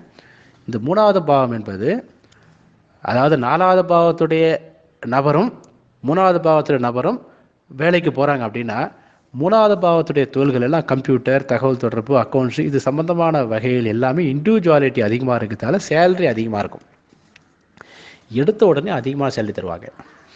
வயசாக வயசாக அந்த சேலரி குறைஞ்சிக்கிட்டே வரும். மாற்றங்கள் அதாவது இந்த மூணாவது பாவத்துடைய தன்மை என்னன்னா நம்மளை அப்டேட் பண்ணிக்கிட்டே இருந்தால் தான் அதில் நிற்க முடியும். இல்லைன்னா நிற்க முடியாது. அதாவது நாற்பது வயசுக்கு மேலே மூணாவது பாவத்துடைய தன்மை வந்து ஆட்டோமேட்டிக்காக குறைஞ்சிரும். அதுக்கப்புறம் பார்த்தீங்கன்னா சின்ன வயசு பசங்க தான் அதிகமாக இருக்கும். இந்த கம்ப்யூட்டர் லைன்லாம் இருக்கிறவங்க நாற்பது வயசுக்கு மேலே இருக்கிறவங்க ஆட்டோமேட்டிக்காக தூக்கிடுவாங்க. அது காரணம் என்னென்னா அந்த கிரியேட்டிவிட்டிங்கிறது போராடிக்கிட்டே இருக்கணும். அந்த மூணாவது பாவங்கிறது அந்த லைனில் கிரியேட்டிவிட்டி தாட்ஸோடு இருந்துக்கிட்டே இருந்தால் தான் முடியும். எடுத்த உடனே அதிகமாக சம்பளம் இருக்கும். ஆனால் ஒரு கேரண்டி இருக்காது. மாற்றங்கள் இருந்துக்கிட்டே இருக்கும் வேலையில். ஆனால் அதே நேரத்தில் பார்த்தீங்கன்னா அந்த மூணாவது பாவங்கிறது ஸ்மார்ட் ஒர்க் தான். அதாவது நாலாவது பாவம் ஹார்ட் ஒர்க்னா மூணாவது பாவம் ஸ்மார்ட் ஒர்க் நாலாவது பாவங்கிறது கட்டடம் கட்டுதல் ஒரு பொருளை உருவாக்குதல் இண்டஸ்ட்ரி இந்த மாதிரி விஷயங்கள் எல்லாமே நாலாவது பாவம் தான். ஆனால் மூணாவது இது ஹார்ட் ஒர்க்னு எடுத்துக்கலாம். மூணாவது பாவம் ஸ்மார்ட் ஒர்க் மென்மையான வேலைகள் எல்லாமே மூணாவது பாவம் தான். ஆனால் அந்த மூணாவது ஒரு ஜாதகத்தில் மூணாவது பாவம் ரொம்ப வலுத்திருக்கிறா அவங்க எப்படி இருப்பாங்க? நாலாவது பாவம் ரொம்ப வலுத்திருந்தா என்னென்னா மூணாவது பாவம் வலுத்திருக்கிறவங்க மற்றவங்களுக்கு கட்டுப்பட மாட்டாங்க. அவங்களுக்கு சுதந்திரத்தை அதிகமாக விரும்புவாங்க. சுதந்திரம் தான் ரொம்ப அதிகமாக விரும்புவாங்க. ஏன்னா அவங்க மனம் போகிற போக்குன்னு சொல்கிறோம் பார்த்தீங்களா இந்த மனசு. எப்பவுமே சந்தோஷமான மனநிலையில் இருக்கணுங்கிறதால நீங்கள் எல்லாம் பார்த்தீங்கன்னா ஒரு ஐடி இண்டஸ்ட்ரீஸில் ஒர்க் பண்ணுறவங்களும் ஒரு மெக்கானிக்கல் இண்டஸ்ட்ரியில் ஒர்க் பண்ணுறவங்களுக்கும் மெக்கானிக்கல் இண்டஸ்ட்ரியில் ஒர்க் பண்ணுறவங்களுக்கும் சம்பளம் கம்மியாக தான் இருக்கும். ஐடி இண்டஸ்ட்ரியில் ஒர்க் பண்ணுறவங்களுக்கு சம்பளம் அதிகமாக இருக்கும். ஆனால் வீட்டுக்கு கொண்டாடும் போது ஐடி இண்டஸ்ட்ரியில் ஒர்க் பண்ணுறவனுடைய மனசு போகிற போக்கு வந்து ஆடம்பரமாகவே இருக்கும். நிகழ்காலத்தை தான் அதிகமாக பார்ப்பான் அவனுடைய வேலையே எதிர்காலத்து எதிர்காலங்கிறது இல்லாத வேலை தான். ஆனால் அவனுக்கு ஓடக்கூடிய இந்த மன சிந்தனைகள் வந்து ரொம்ப கற்பனைகள் இதெல்லாம் வந்து பார்க்கும்போது எடுத்த உடனே கார் வாங்கிடணும். இந்த மாதிரி எண்ண ஓட்டம் தான் அதிகமாக இருக்குது மெக்கானிக்கல் லைனில் இருக்கிறவங்களுக்கு எப்போதுமே அவங்களுக்கு குறைந்த ச ஒரு நார்மல் ஆவரேஜ் சம்பளமாக இருந்தாலும் கூட நீண்ட நாட்கள் வேலை இருக்குன்னு ஒரு கேரண்டி இருக்கும். ரொம்ப முப்பது வருஷம் சர்வ ரொம்ப சர்வசாதாரணமாக இருக்கலாம். ஏன்னா அந்த நாலாவது பாவம் வந்து உலகம் இருக்கிற வரைக்கும் நாலாவது பாவத்துடைய காரக தொழில்கள் வந்து மாறாமல் அப்படியே இருக்கும். உதாரணத்துக்கு ஆசிரியர்கள் முப்பது வருஷம் ரிட்டையர்மெண்ட் ஒர்க் பண்ணிட்டு ரிட்டையர்மெண்ட்டை வராங்க. ஒரு டூ வீலர் ப்ரொடக்ஷன் பண்ணுற கம்பெனி முப்பது வருஷம் ஒர்க் பண்ணிட்டு வெளியில் வரார். லாரி தயார் பண்ணுற கம்பெனி முப்பது வருஷம் ஒர்க் பண்ணுறார் வெளியில் வரார். அதே நிலையாக இருந்துக்கிட்டே இருக்கும். அது பாட்டுன்னு ஓடிக்கிட்டே இருக்கும். இதுதான் நாலாவது பாவத்துடைய தன்மை. ஆனால் மூணாவது பாவத்துடைய தன்மை மாற்றங்கள் அதிகமாக இருக்கிறதால ஒரு பொருளுக்கு நம்ம ஒரு சாஃப்ட்வேர் கிரியே கிரியேட் பண்ணி கொடுத்த உடனே அதோட வேலை முடிஞ்சு போயிடுது. அதுக்கப்புறம் இன்னொரு பொருளுக்கு சாஃப்ட்வேர் கொடுக்கணும். இது போக போக போக ஒரு குறிப்பிட்ட காலத்துக்கு அப்புறம் மூணாவது பாவத்துடைய தன்மை குறைஞ்சிக்கிட்டே போயிடும். அதனால் வந்து இதில் வந்து அந்த ஜாப் கேரண்டி என்பது இந்த மூணாவது பாவத்துக்கு கொஞ்சம் கம்மி தான் அது வந்து நம்ம வந்து எடுத்துக்கூடாது. அதனால் வந்து ஏன் அதுக்கு அதிகமாக தராங்கன்னா அந்த மூணாவது பாவத்தை உடனடியாக ட்ரெயின் பண்ணி கொண்டாட முடியாது. இதுதான் அந்த மூணாவது பாவத்துக்கு பெரிய ப்ளஸ் பாயிண்ட் மூணாவது பாவத்துடைய காரகத்தை ஒருத்தருக்கு ஒரு ட்ரைனிங் பண்ணாலும் உடனடியாக கிடைக்க மாட்டாங்க. ஏன்னா மூணாவது பாவங்கிறது எப்போதுமே புதுமைன்னு எடுத்துக்கலாம். நாலாவது பாவம் பழமைன்னு எடுத்துக்கலாம். புதுமையான விஷயங்கள் ஒருத்தருக்கு யாருக்கு தெரியுதோ அவங்க ஈஸியாக வந்துடுறாங்க. மார்க்கெட்டிங் இந்த மாதிரி வகையில் வந்து ஒருத்தர் ட்ரைனிங் கொடுத்து வராது அது தானாக வரக்கூடியது. நாலாவது பாவம் என்பது பயிற்சி கொடுத்து வருவது. மூணாவது பாவம் தானாக வருவது. அப்படிங்கிறதால இது இண்டிவிஜுவாலிட்டி அதிகமாக இருக்கிறவங்க தான் அந்த மூணாவது பாவத்தில் இருக்க முடியும். இன்னும் சொல்லப்போனால் மூணாவது பாவம் ரொம்ப அற்புதமான பாவம் தான் அதில் வந்து எந்த ஒரு கருத்து வேறுபாடும் இருக்கா இன்னும் சொல்லப்போனால் நம்ம நாகரிகம் அப்படிங்கிறதே மூணாவது பாவத்தில் தான் ஆரம்பிக்குது. மனுஷனுடைய நாகரிகங்கள் நாகரிக வளர்ச்சி அப்படின்னாவே அது மூணாவது பாவம் தான் உதாரணத்துக்கு சாதாரண வீடுங்கிறது அப்பார்ட்மெண்ட் ஆனது மூணாவது பாவம் தான். மூணாவது பாவத்தில் ஒரு சிந்தனை தான். இன்னைக்கு சிட்டியில் வந்து எல்லாருக்கும் வீடு வேணும் அப்படின்னா தனித்தனி வீடு வேணும்னா அது முடியாத காரியம். அப்போ இந்த நாலாவது பாவங்கிறது மூணாவது பாவம் என்பது நாலாவது பாவத்தை எப்படி உடைக்குதுன்னு பாருங்களேன். தனி ஒரு இடத்துல ஒரு இரநூறு ரெண்டாயிரத்தி நானூறு ஸ்கொயர் ஃபீட்டில் ஒருத்தர் மட்டுமே குடியிருக்கிறதுக்கு பதிலாக ஒரு பத்து பேர் குடியிருக்கிற மாதிரி இருபது பேர் குடியிருக்கிற மாதிரி ஒரு அப்பார்ட்மெண்ட் வருது பார்த்தீங்களா? இதுதான் இந்த மூணாவது பாவத்துடைய தன்மை. அப்போ அந்த நாலாவது பாவம் நிலத்தோட வேல்யூவை இந்த மூணாவது பாவம் குறைக்குது. அதுதான் நாலுக்கு பன்னெண்டு அப்படிங்கிறோம். அதனால இது நல்ல பாவம் தான். ஆனால் இருந்தாலும் மெட்டீரியலிஸ்ட் வேல்யூன்னு பார்க்கும்போது ஒரு தனி வீட்டுக்கு வேல்யூ இருக்குமா அப்பார்ட்மெண்ட்டுக்கு வேல்யூ இருக்குமா? தனி வீட்டுக்கு தான் வேல்யூ இருக்கும். அப்பார்ட்மெண்ட்னு பார்க்கும்போது அது லக்னத்துக்கு சாதகன்றதால பாதுகாப்பு அம்சங்கள் நிறைய இருக்காங்க. ஆனால் தனி வீட்டில் பாதுகாப்பு அம்சம் இருக்காது. தனி வீட்டில் நிலம் அப்படிங்கிறதுக்கு வேல்யூ வந்து என்றைக்குமே இருக்கும். அதனால தான் அதை ரியல் எஸ்டேட் அப்படின்னு சொல்கிறோம் நம்ம. ரியல் ரியல்னால் உண்மை உண்மையான எஸ்டேட் அப்படிங்கிறது அந்த நிலம் அப்படிங்கிறது ரியல் எஸ்டேட் ரெண்டாவது நிலத்தோட வேல்யூ என்றைக்கு வந்து மாறாமல் இருக்கும். இன்க்ரீஸ் ஆகிட்டு தான் போகும். குறையவே குறையாது. இது உலகம் பிறந்திலிருந்து அதாவது மண்ணில் போடுங்கன்னு சொல்லுவாங்க. கிராமத்தோட மண்ணில் போட்ட பொருள் எதுவுமே வேஸ்ட் ஆகாதுன்னு சொல்லுவாங்க. ஏன்னா நிலம் என்பது தான் ஒரு ஆதார சக்தி. நம்ம இதில் வந்து பஞ்சபூத தத்துவத்தோட பார்த்தீங்கன்னா நம்ம ரெண்டு ஆறு பத்து வந்து நிலராசின்னு சொல்லுவோம். அதில் ஆதாரமே இந்த இதுதான். இந்த நாலாவது பாவம் தான் இன்னும் சொல்லப்போனால் ஒருத்தர் பணக்காரன் ஏழை அப்படிங்கிறத டிசைட் பண்ணுறதே இந்த நாலாவது பாவம் தான் மனித சமுதாயம் ஆரம்பிக்கும் போது யாருக்கு நிலம் அதிகமாக இருக்கோ அவங்ககிட்ட தான் மற்றவங்க வேலைக்கு வேலைக்கு போவாங்க. அப்போது நிலம் தான் வந்து ஒரு மனுஷனுடைய ஆ- அதாவது ஒரு நில ஒரு அரசன் அப்படின்னாவே அந்த இந்த பூமி ஆள்றான் அப்படின்னாவே அந்த இந்த இடத்த எவ்வளோ ஏரியா அவனுக்கு சொந்தமாக இருக்கோ அது அதுதான் அவனுடைய சிற்றரசனா பேரரசனான்னு சொல்லக்கூடியது. அப்போ நிலம் என்பது ரொம்ப இம்பார்ட்டன்ட் மனித வளர்ச்சிக்கு அது வந்து ரொம்ப ஒரு ஒரு அற்புதமான அமைப்பு. அதில் வந்து நம்ம எதுவும் சொல்ல முடியாது. அது ரொம்ப அற்புதமான அமைப்பு தான் என்ன ஒன்று இந்த மூணாவது பாகங்கிறது ஒரு ஒரு திடீர் வளர்ச்சி மகிழ்ச்சி சந்தோஷம் நாகரிகம் கற்பனை இந்த மாதிரி விஷயத்துக்கெலாம் வந்து நல்லா இருக்குது அதுக்கு வந்து ரொம்ப சந்தோஷம். உடனடியாக இன்பங்களுக்கு நல்லா இருக்குது அதாவது எப்போதுமே நாம் இந்த பட்டிமன்றத்தை பார்த்தாலும் கூட அது கொஞ்சம் ஏஜ்டு பர்சன் அப்படின்னு பார்க்கும்போது இதில் வந்து எல்லாரும் இருக்காங்க. பட் குறிப்பாக அறிவர் அறிவரகன் ஐயா அவர்கள் பேசின பேச்சு பார்த்தீங்கன்னா அவர் எப்போவுமே மென்மையான சுபாவம். நான் கூட ரொம்ப அதிசயமாக அவர் பார்த்துருப்பேன். அவர் வந்து பட்டுக்கோட்டை அறிவின் ஐயா வந்து அறிவரகன் ஐயா வந்து எஸ்ஐயா இருந்துட்டு வந்தவர் ரொம்ப அகம் சார்ந்த துறையில் எப்படி ஒரு ஈடுபடுறான் ரொம்ப ஆன்மீகவாதியும் கூட அவரே என்ன சொல்கிறாரு யதார்த்தம் அப்படிங்கிறது பொருளாதாரத்தை பேஸ் பண்ணி தான் இருக்கு. வீட்டை பேஸ் பண்ணி தான் இருக்குது மாப்பிள்ளைக்கு நம்ம பொண்ணு ஒரு இடத்துல கொடுக்கணும் போது அவங்களுக்கு சொந்த வீடு இருக்கா? சொந்த வீடு இல்லை அப்படின்னாவே அவன் எவ்வளோ பணம் வச்சிருந்தாலும் அவங்களுக்கு சமுதாயத்தில் மதிப்பு இருக்காது. அதுதான். அப்போ மனிதனின் வளர்ச்சி என்பது நான் ஆரம்பத்தில் சொன்ன மாதிரி ஒரு மனிதன் சொந்தமாக வீடு வாங்கிட்டாவே அவனுக்கு லைஃப்பில் பாதி கஷ்டம் தீர்ந்து போன மாதிரி. ஏன்னா வீட்டு வாடகை பிரச்சனை இருக்காது சமுதாயத்தில் ஒரு அண்டர்ஸ்ட் இருக்கும். ஏதோ ஒன்று வீட்டில் பழைய கஞ்சி குடிச்சு கூட அப்படியே இருந்துட்டு போயிடலாம். ஏன்னா உண்ண உணவு இருக்க இருப்பிடம் இது வந்து உடை. இந்த மூணுத்தில் இருக்கு இடு இருப்பிடம்ங்கிறது ரொம்ப காஸ்ட்லி அது ஒரு வாட்டி வாங்கிட்டா திரும்ப திரும்ப மாதம் மாதம் வாங்க வேண்டிய அவசியம் இல்லை. ஒன்ஸ் பர்ச்சேஸ்டு அப்படின்னு பார்க்கும்போது லைஃப் லாங்காக குறைஞ்சது ஒரு ஒரு ஒரு மனுஷனுடைய ஒரு வீடு வாங்கிட்டாருன்னா அவர் ஆயுள் இருக்கிற வரைக்கும் ஒரு வீட்டுக்கு அவர் செலவு பண்ண வேண்டியதில்லை. உணவு என்பதும் உடல் என்பதும் நமக்கு அப்பப்போ அது நமக்கு வந்துட்டே இருக்கக்கூடியது. நம்ம சில ரெக்கரிங் எக்ஸ்பென்ஸ் அப்படிங்கிற மாதிரி. ஆனால் வீடுங்கிறது ஒன் டைம் இன்வெஸ்ட்மெண்ட் மாதிரி. அந்த வகையில் அது போயிட்டாவே நமக்கு மூணில் ஒரு பங்கு விஷயங்கள் வந்து நமக்கு ஒரு- ஒரு- ரிலாக்ஸ் கிடைச்சிடும் மனுஷனுக்கு. அதுதான் வந்து நம்ம பாலச்சந்திர ஐயா அவர்கள் நிறைய இடத்துல அதை மென்ஷன் பண்ணியிருந்தாரு.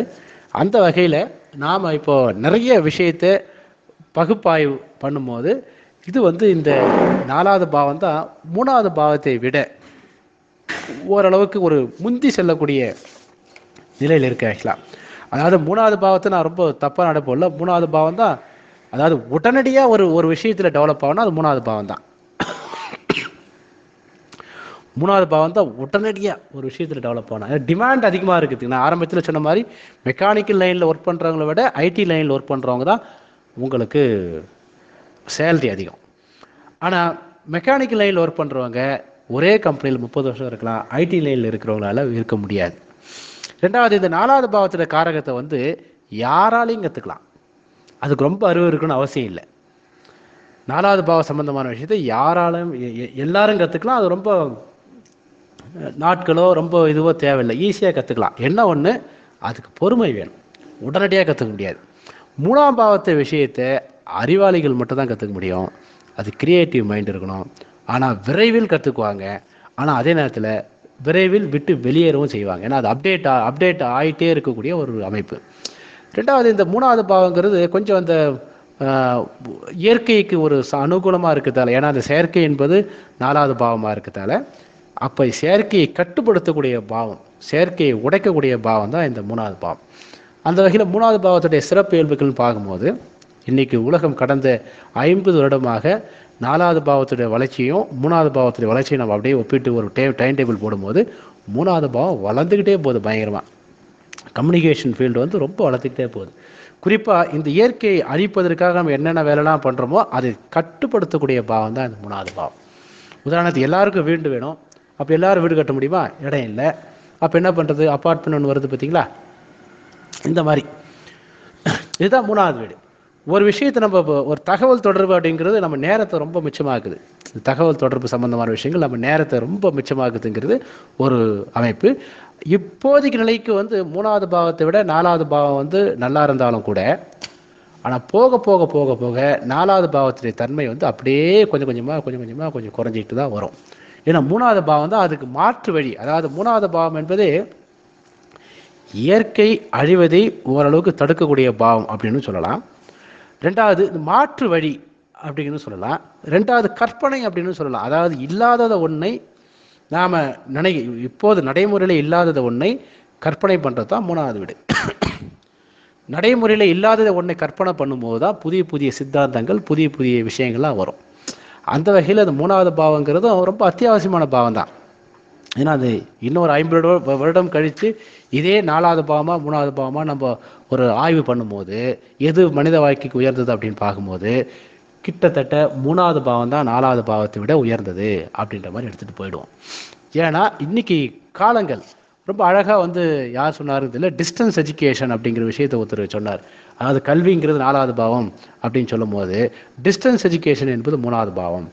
ஒன்றும் இல்லை நம்முடைய பயிற்சி மையத்திலோட பார்த்திங்கன்னா கிட்டத்தட்ட இது வரைக்கும் ஒரு ஐயாயிரம் மாணவர்களுக்கு மேலே படித்தாலும் கூட கடந்த ஒரு நாலு வருஷமாக தான் கிட்டத்தட்ட ஒரு மூவாயிரம் பேர் வந்தாங்க. க- இந்த பயிற்சி மையம் ஆரம்பித்து பன்னிரெண்டு வருஷத்தில் பத்து எட்டு வருடம் வரைக்கும் வெறும் ரெண்டாயிரம் பேர் தான் படித்தாங்க கடைசி நாலு வருஷம் தான் மூவாயிரம் பேர் மூவாயிரம் பேருக்கு மேலே வந்திருக்காங்க. காரணம் என்னன்னா யூடியூப் ஃபேஸ்புக் இந்த மாதிரி விஷயங்கள் கடந்த ஒரு மூணு நாலு வருஷமாக தான் வந்தது. இதில் தான் நல் நிறைய வளர்ச்சி வந்தது.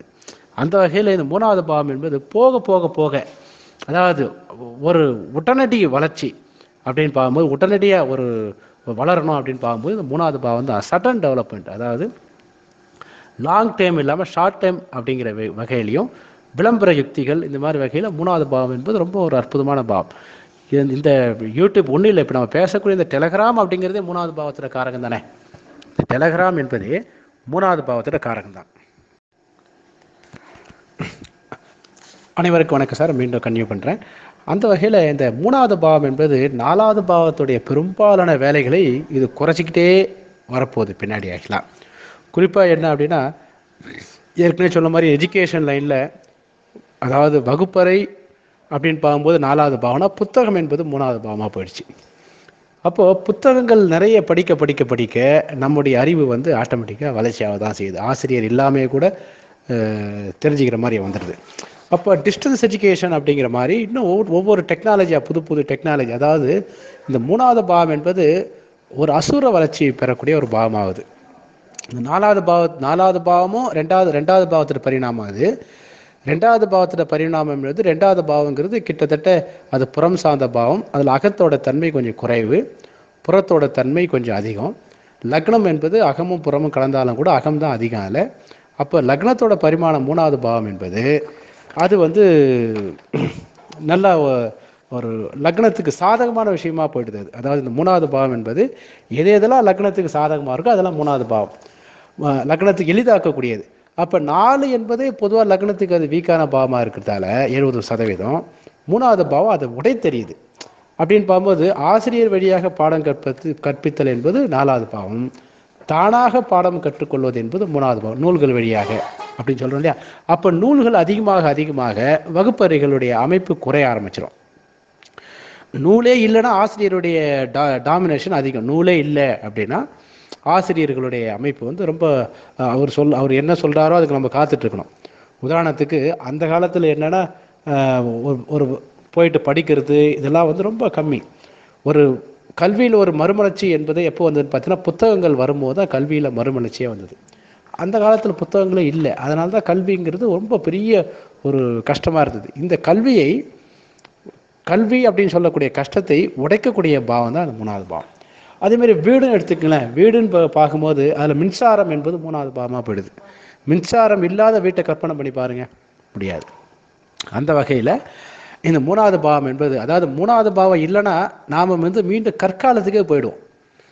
அதாவது இப்போ க- கஜா புயல் வந்தது கஜா புயல் வந்தோடனே நான் வந்து கிட்டத்தட்ட ஒரு பத்து நாள் கழித்து பட்டுக்கோட்டை அறிவரகன் ஐயா அவர்கிட்ட ஒரு கே கேள்விக்கும் போது முதல் கேள்வி என்னென்னா சார் ஐயா உங்கள் வீட்டுக்கு கரண்ட் வந்துச்சா தான் கேட்டேன் நான்.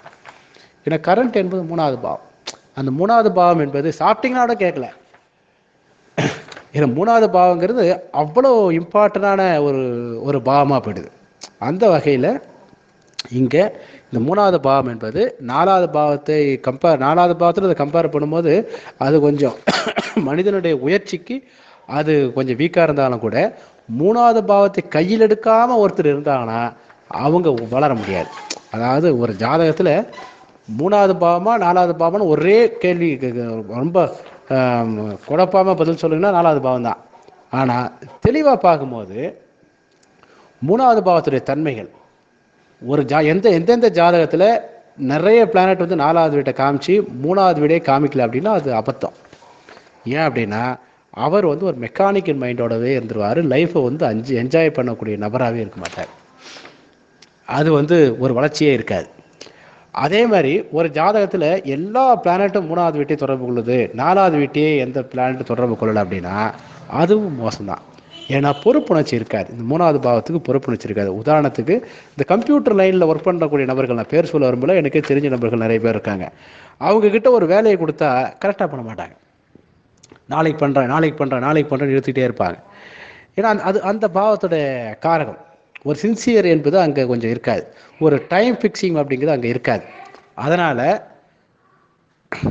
நான் மீண்டும் மீண்டும் கன்டினியூ பண்ணுறேன் சார் நான்.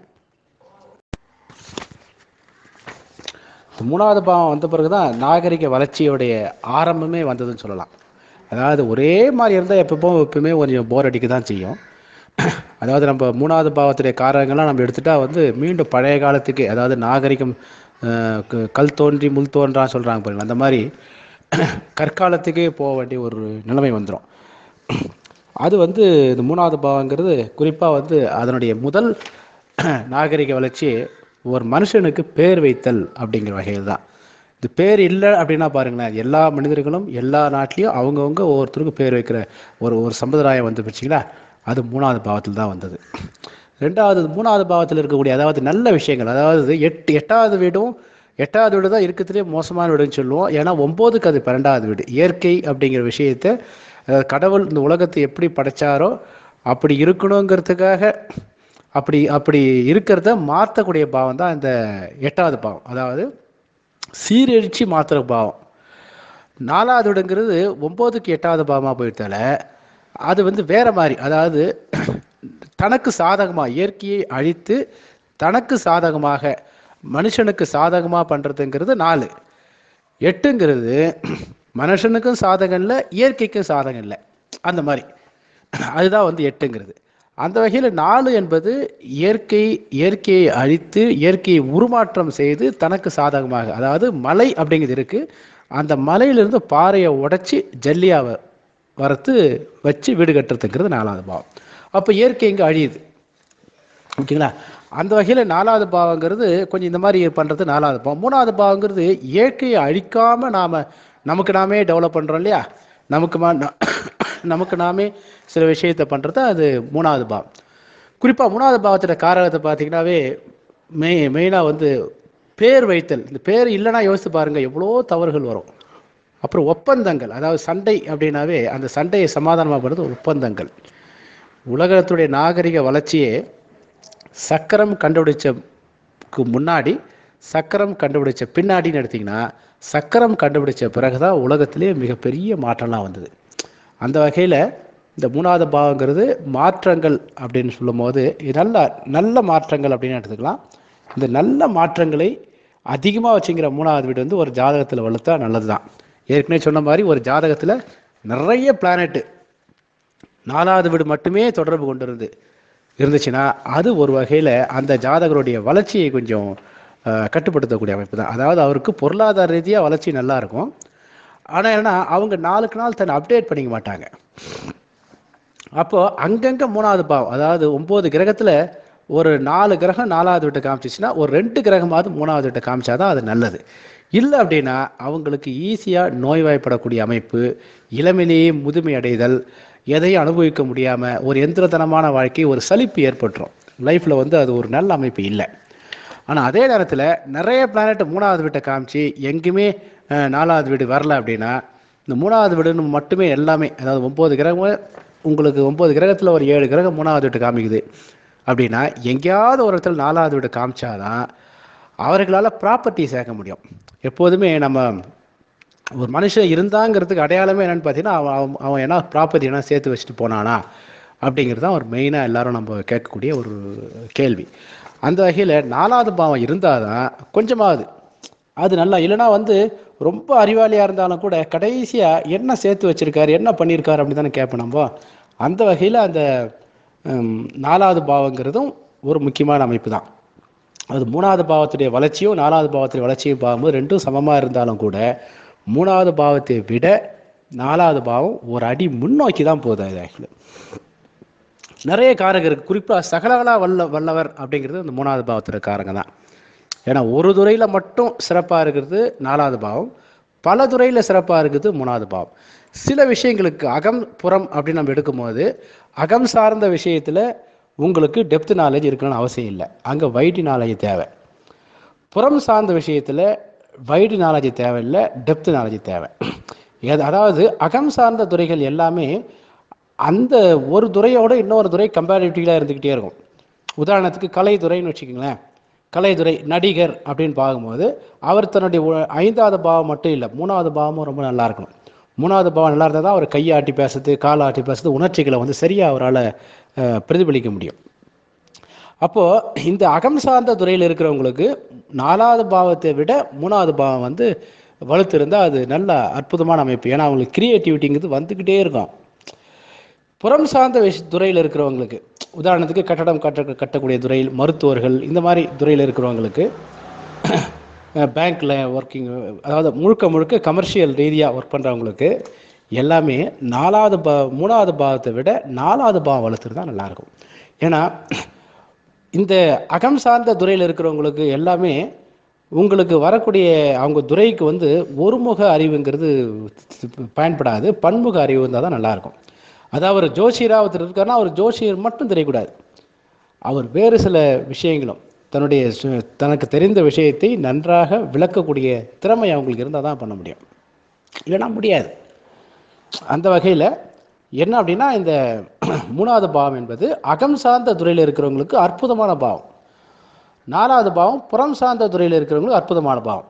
சரி இப்போ நம்ம ரெண்டுத்தையும் வச்சுக்குவோம். அகம் சார்ந்த துறை புறம் சார்ந்த துறைன்னு பார்க்கும்போது உலகத்தில் உள்ள தொழில்கள் எல்லாத்தையும் நம்ம பிரிக்கும் போது உலகத்தில் உள்ள தொழில்களில் கிட்டத்தட்ட எண்பது சதவீதம் புறம் சார்ந்த தொழில் இருபது சதவீதம் அகம் சார்ந்த தொழில்.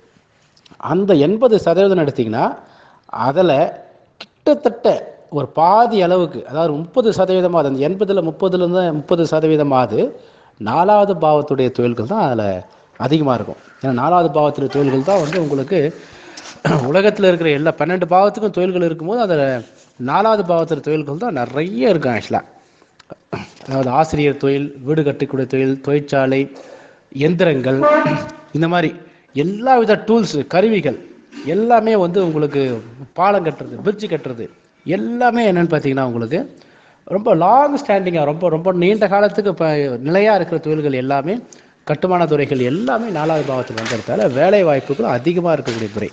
பொதுவாகவே இந்த நாலாவது பாவங்கிறது வேலை வாய்ப்பு தடுக்கக்கூடிய அஞ்சு ஒன்பதாவது பாவத்தை கெடுக்கக்கூடிய பாவமாக போயிருந்தால நாலாவது பாவ சம்பந்தமான துறையில் இருக்கிறவங்களும் எப்பொழுதுமே வேலை இருந்துகிட்டே இருக்கும். அந்த வேலை அப்படிங்கிற அமைப்பு வந்து கொஞ்சம் முன்ன பின்ன கால சீதோஷ்ண நிலைகள் கொஞ்சம் முன்ன பின்ன மாறினாலும் கூட எப்போதுமே அவங்களுக்கு இருந்துக்கிட்டே இருக்கக்கூடிய துறை. அந்த வகையில் நம்ம என்ன பண்ணோம்னா அந்த நாலாவது பாவம் என்பது வளர்ச்சிக்கு. ஏன்னா வளர்ச்சி ஒரு மனுஷனுடைய வளர்ச்சி என்பது அவனுடைய தொழில் அப்படிங்கிற கண்ணோட்டத்திலே பார்க்குறோம். இதில் இன்னொரு விஷயமும் சொல்லலாம். இந்த நாலாவது பாவத்தையும் மூணாவது பாவத்தையும் பார்க்கும்போது பெண்களுக்கு பொறுத்த வரைக்கும் நாலாவது பாவத்தை விட மூணாவது பாவம் நல்லா தான் வரும் நல்லாயிருக்கும் பெண்களுக்கு. ஏன்னா பெண்களுக்கு வந்து அதாவது பொதுவாகவே நாலாவது பாவம் யார் யாருக்கெல்லாம் ரொம்ப வலுத்து இருக்கோ அவங்க இளமையிலேயே முதுமையாயிடுவாங்க. மூணாவது பாவம் யார் யாருக்கெல்லாம் வலுத்து இருக்கோ அவங்க முதுமையானாலும் இளமையாக இருப்பாங்க. இப்போ பாருங்கள் பொதுவாகவே வந்து பெண்கள் அப்படிங்கிறது அவங்க அகம் சார்ந்த வாழ்க்கைங்கிறதால அவர்களுக்கு பொறுத்த வரைக்கும் நாலாவது பாவத்தை விட மூணாவது பாவங்கிறது நல்லா இருந்தால் சிறப்பு. நாலாவது பாவம் நல்லா இருந்தால் என்னன்னு பார்த்தீங்கன்னா அவங்களால நடிக்க தெரியாது. வெட்டு ஒன்று துண்டு ஒன்றா பேசிடுவாங்க. இந்த மாதிரி சில சில சின்ன சின்ன மைனஸ் பாயிண்ட் இருக்க தான் செய்யுது.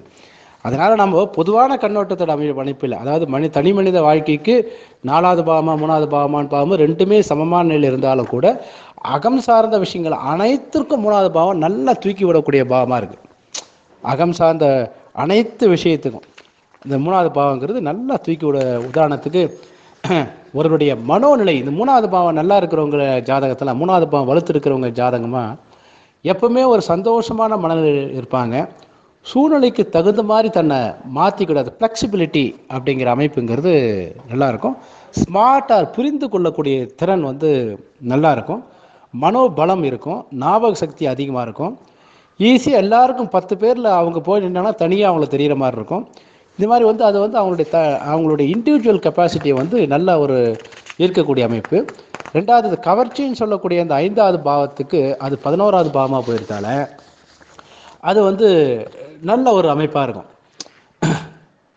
அதனால் வந்து உங்களுக்கு அகம் சார்ந்த விஷயத்துக்கு அனைத்துக்கும் அந்த மூணாவது பாவம் நல்லாயிருக்கும் புறம் சார்ந்த விஷயத்துக்கு அனைத்திற்கும் மூணாவது பாவத்தை விட நாலாவது பாவம் நல்லாயிருக்கும் அப்போது அகமா புறமான்னு பார்க்கும்போது ஏற்கனவே நம்ம மனித வாழ்க்கையில் நாம் என்ன பண்ணோம்னா சிறிது காலமாக கடந்த ஒரு நூற்றாண்டுக்கு பிறகே நம்முடைய மனித வாழ்க்கையில் அகம் பாதி புறம் பாதி அப்படிங்கிற நிலை மாறி அகம் என்பது கிட்டத்தட்ட முப்பத்தஞ்சு சதவீதம் புறம் என்பது எழுபது சதவீதமாக மாறிப்போச்சு.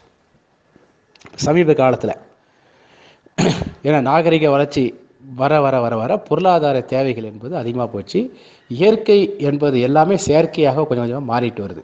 அதாவது இயற்கைனா தானாக வரது இயற்கை இயல்பாக வரது இயற்கைன்னு சொல்கிறோம் செயற்கைங்கிறது நாம் செய்கிறது உதாரணத்துக்கு வாட்டர் பாட்டில் வாங்குகிறோம் போயிட்டு ரயில்வே ஸ்டேஷனில் போயிட்டு வாட்டர் பாட்டில் வாங்குகிறோம் இது இயற்கையாக இறைவன் நமக்கு கொடுத்தது.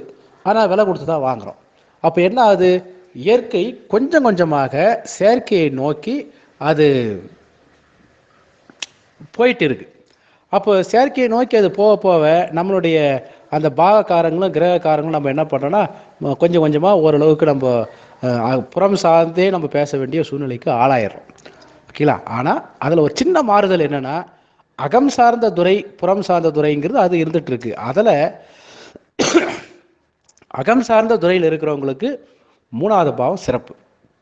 புறம் சார்ந்த துறையில் இருக்கிறவங்களுக்கு நாலாவது பாவம் சிறப்பு.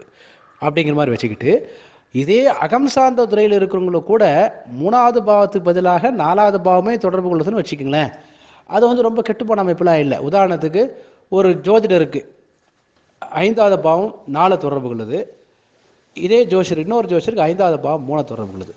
ஐந்தாவது பாவம் மூணு தொடர்பு கொள்கிற ஜோதி ஜோஷியர் வந்து அவர் நிலையான கோட்பாடை வச்சிருக்க மாட்டார். அடிக்கடி தன்னை மாற்றிக்கிட்டே இருப்பார். நல்ல அழகாக பலன் சொல்லுவார் எல்லாம் இருக்கும் ஆனால் கிளைண்ட்டும் மாறிக்கிட்டு இருப்பாங்க.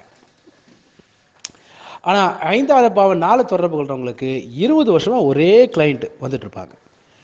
ஐந்தாவது பாவம் நாலு தொடர்பு கொள்ளும்போது வரக்கூடிய கிளைண்ட் எல்லாமே கொஞ்சம் லாஜிக்கல் பர்சனாக இருக்கக்கூடிய நபராக இருப்பாங்க. இவரை விட அவர் அதிகமாக பணம் வாங்குவார். அஞ்சாவது பாவம் நாலு தொடர்பு கொண்டவர் அதிகமாக வாங்குவார். அதிகம் பேச மாட்டார். கருத்துக்களை மட்டும் சொல்லுவார். பில்டப் பண்ண மாட்டார். ஆனால் மூணாவது பாவுக்கு நல்லா பில்டப் பண்ணும். அது கேட்குறவங்களுக்கு நல்லா இருந்தாலும் கூட பணம் கொடுக்குற அமைப்புங்கிறது கொஞ்சம் நாளை விட மூணு கொஞ்சம் கம்மி தான். ரெண்டாவது ஐந்தாவது நாலு தொடர்பு கொண்டவர் கலைத்துறையில் இருந்தார்னா நிலைத்த பேர் பெ- பேர் புகழ் பெறுவார் சொல்லலாம். இந்த ஐந்தாவது பா மூணு தொடர்பு கொள்றவங்க கலைத்துறையில் நிறைய டிபார்ட்மெண்ட்டில் போகும்போது நிறைய டிபார்ட்மெண்ட்டில் உள்ளே போய் உள்ளே போய் உள்ளே போய் தன்னுடைய திறமையை காமிச்சிட்டு வருவாங்க. அது கொஞ்சம் ஒரு மைனஸ் பாயிண்ட் மாதிரி தான் அது வந்து ஒரு ஸ்டடி மைண்ட் இருக்காது. அதாவது நடிகன் அப்படின்னா நடிகனாகவே இருக்கிறது. டேரக்டர் டேரக்டராகவே இருக்குது. அப்படி இல்லாமல் கொஞ்ச நாள் மியூசிக் டேரக்டராக இருக்குது. கொஞ்ச நாள் வந்து கதை எழுதுறவராக இருக்குது. கொஞ்ச நாள் வந்து விநியோகஸ்தராக இருக்குது. இது மாதிரி மாறி மாறி இருக்கும்போது அவங்களுடைய அந்த கெப்பாசிட்டி கம்மியாயிடும். அதாவது வெறும் நூலாக இருந்துச்சுன்னா அது குயிக்காக டேமேஜ் ஆகிறதுக்கு வாய்ப்பு இருக்குது அதே கயிறாக இருந்தால் அது நல்லா வலுவாக இருக்கும். இந்த மாதிரி நம்ம பிரிக்கும் போது இந்த நாலாவது பாவம் என்பது புறம் அகம் சார்ந்த துறைக்கு கூட அது நல்லது தான் மோசம்லாம் இல்லை. அகம் சார்ந்த துறையில் ஒரு பிரமிப்பு ஏற்படுத்தாத பாவம் தான் நாலாவது பாவம்.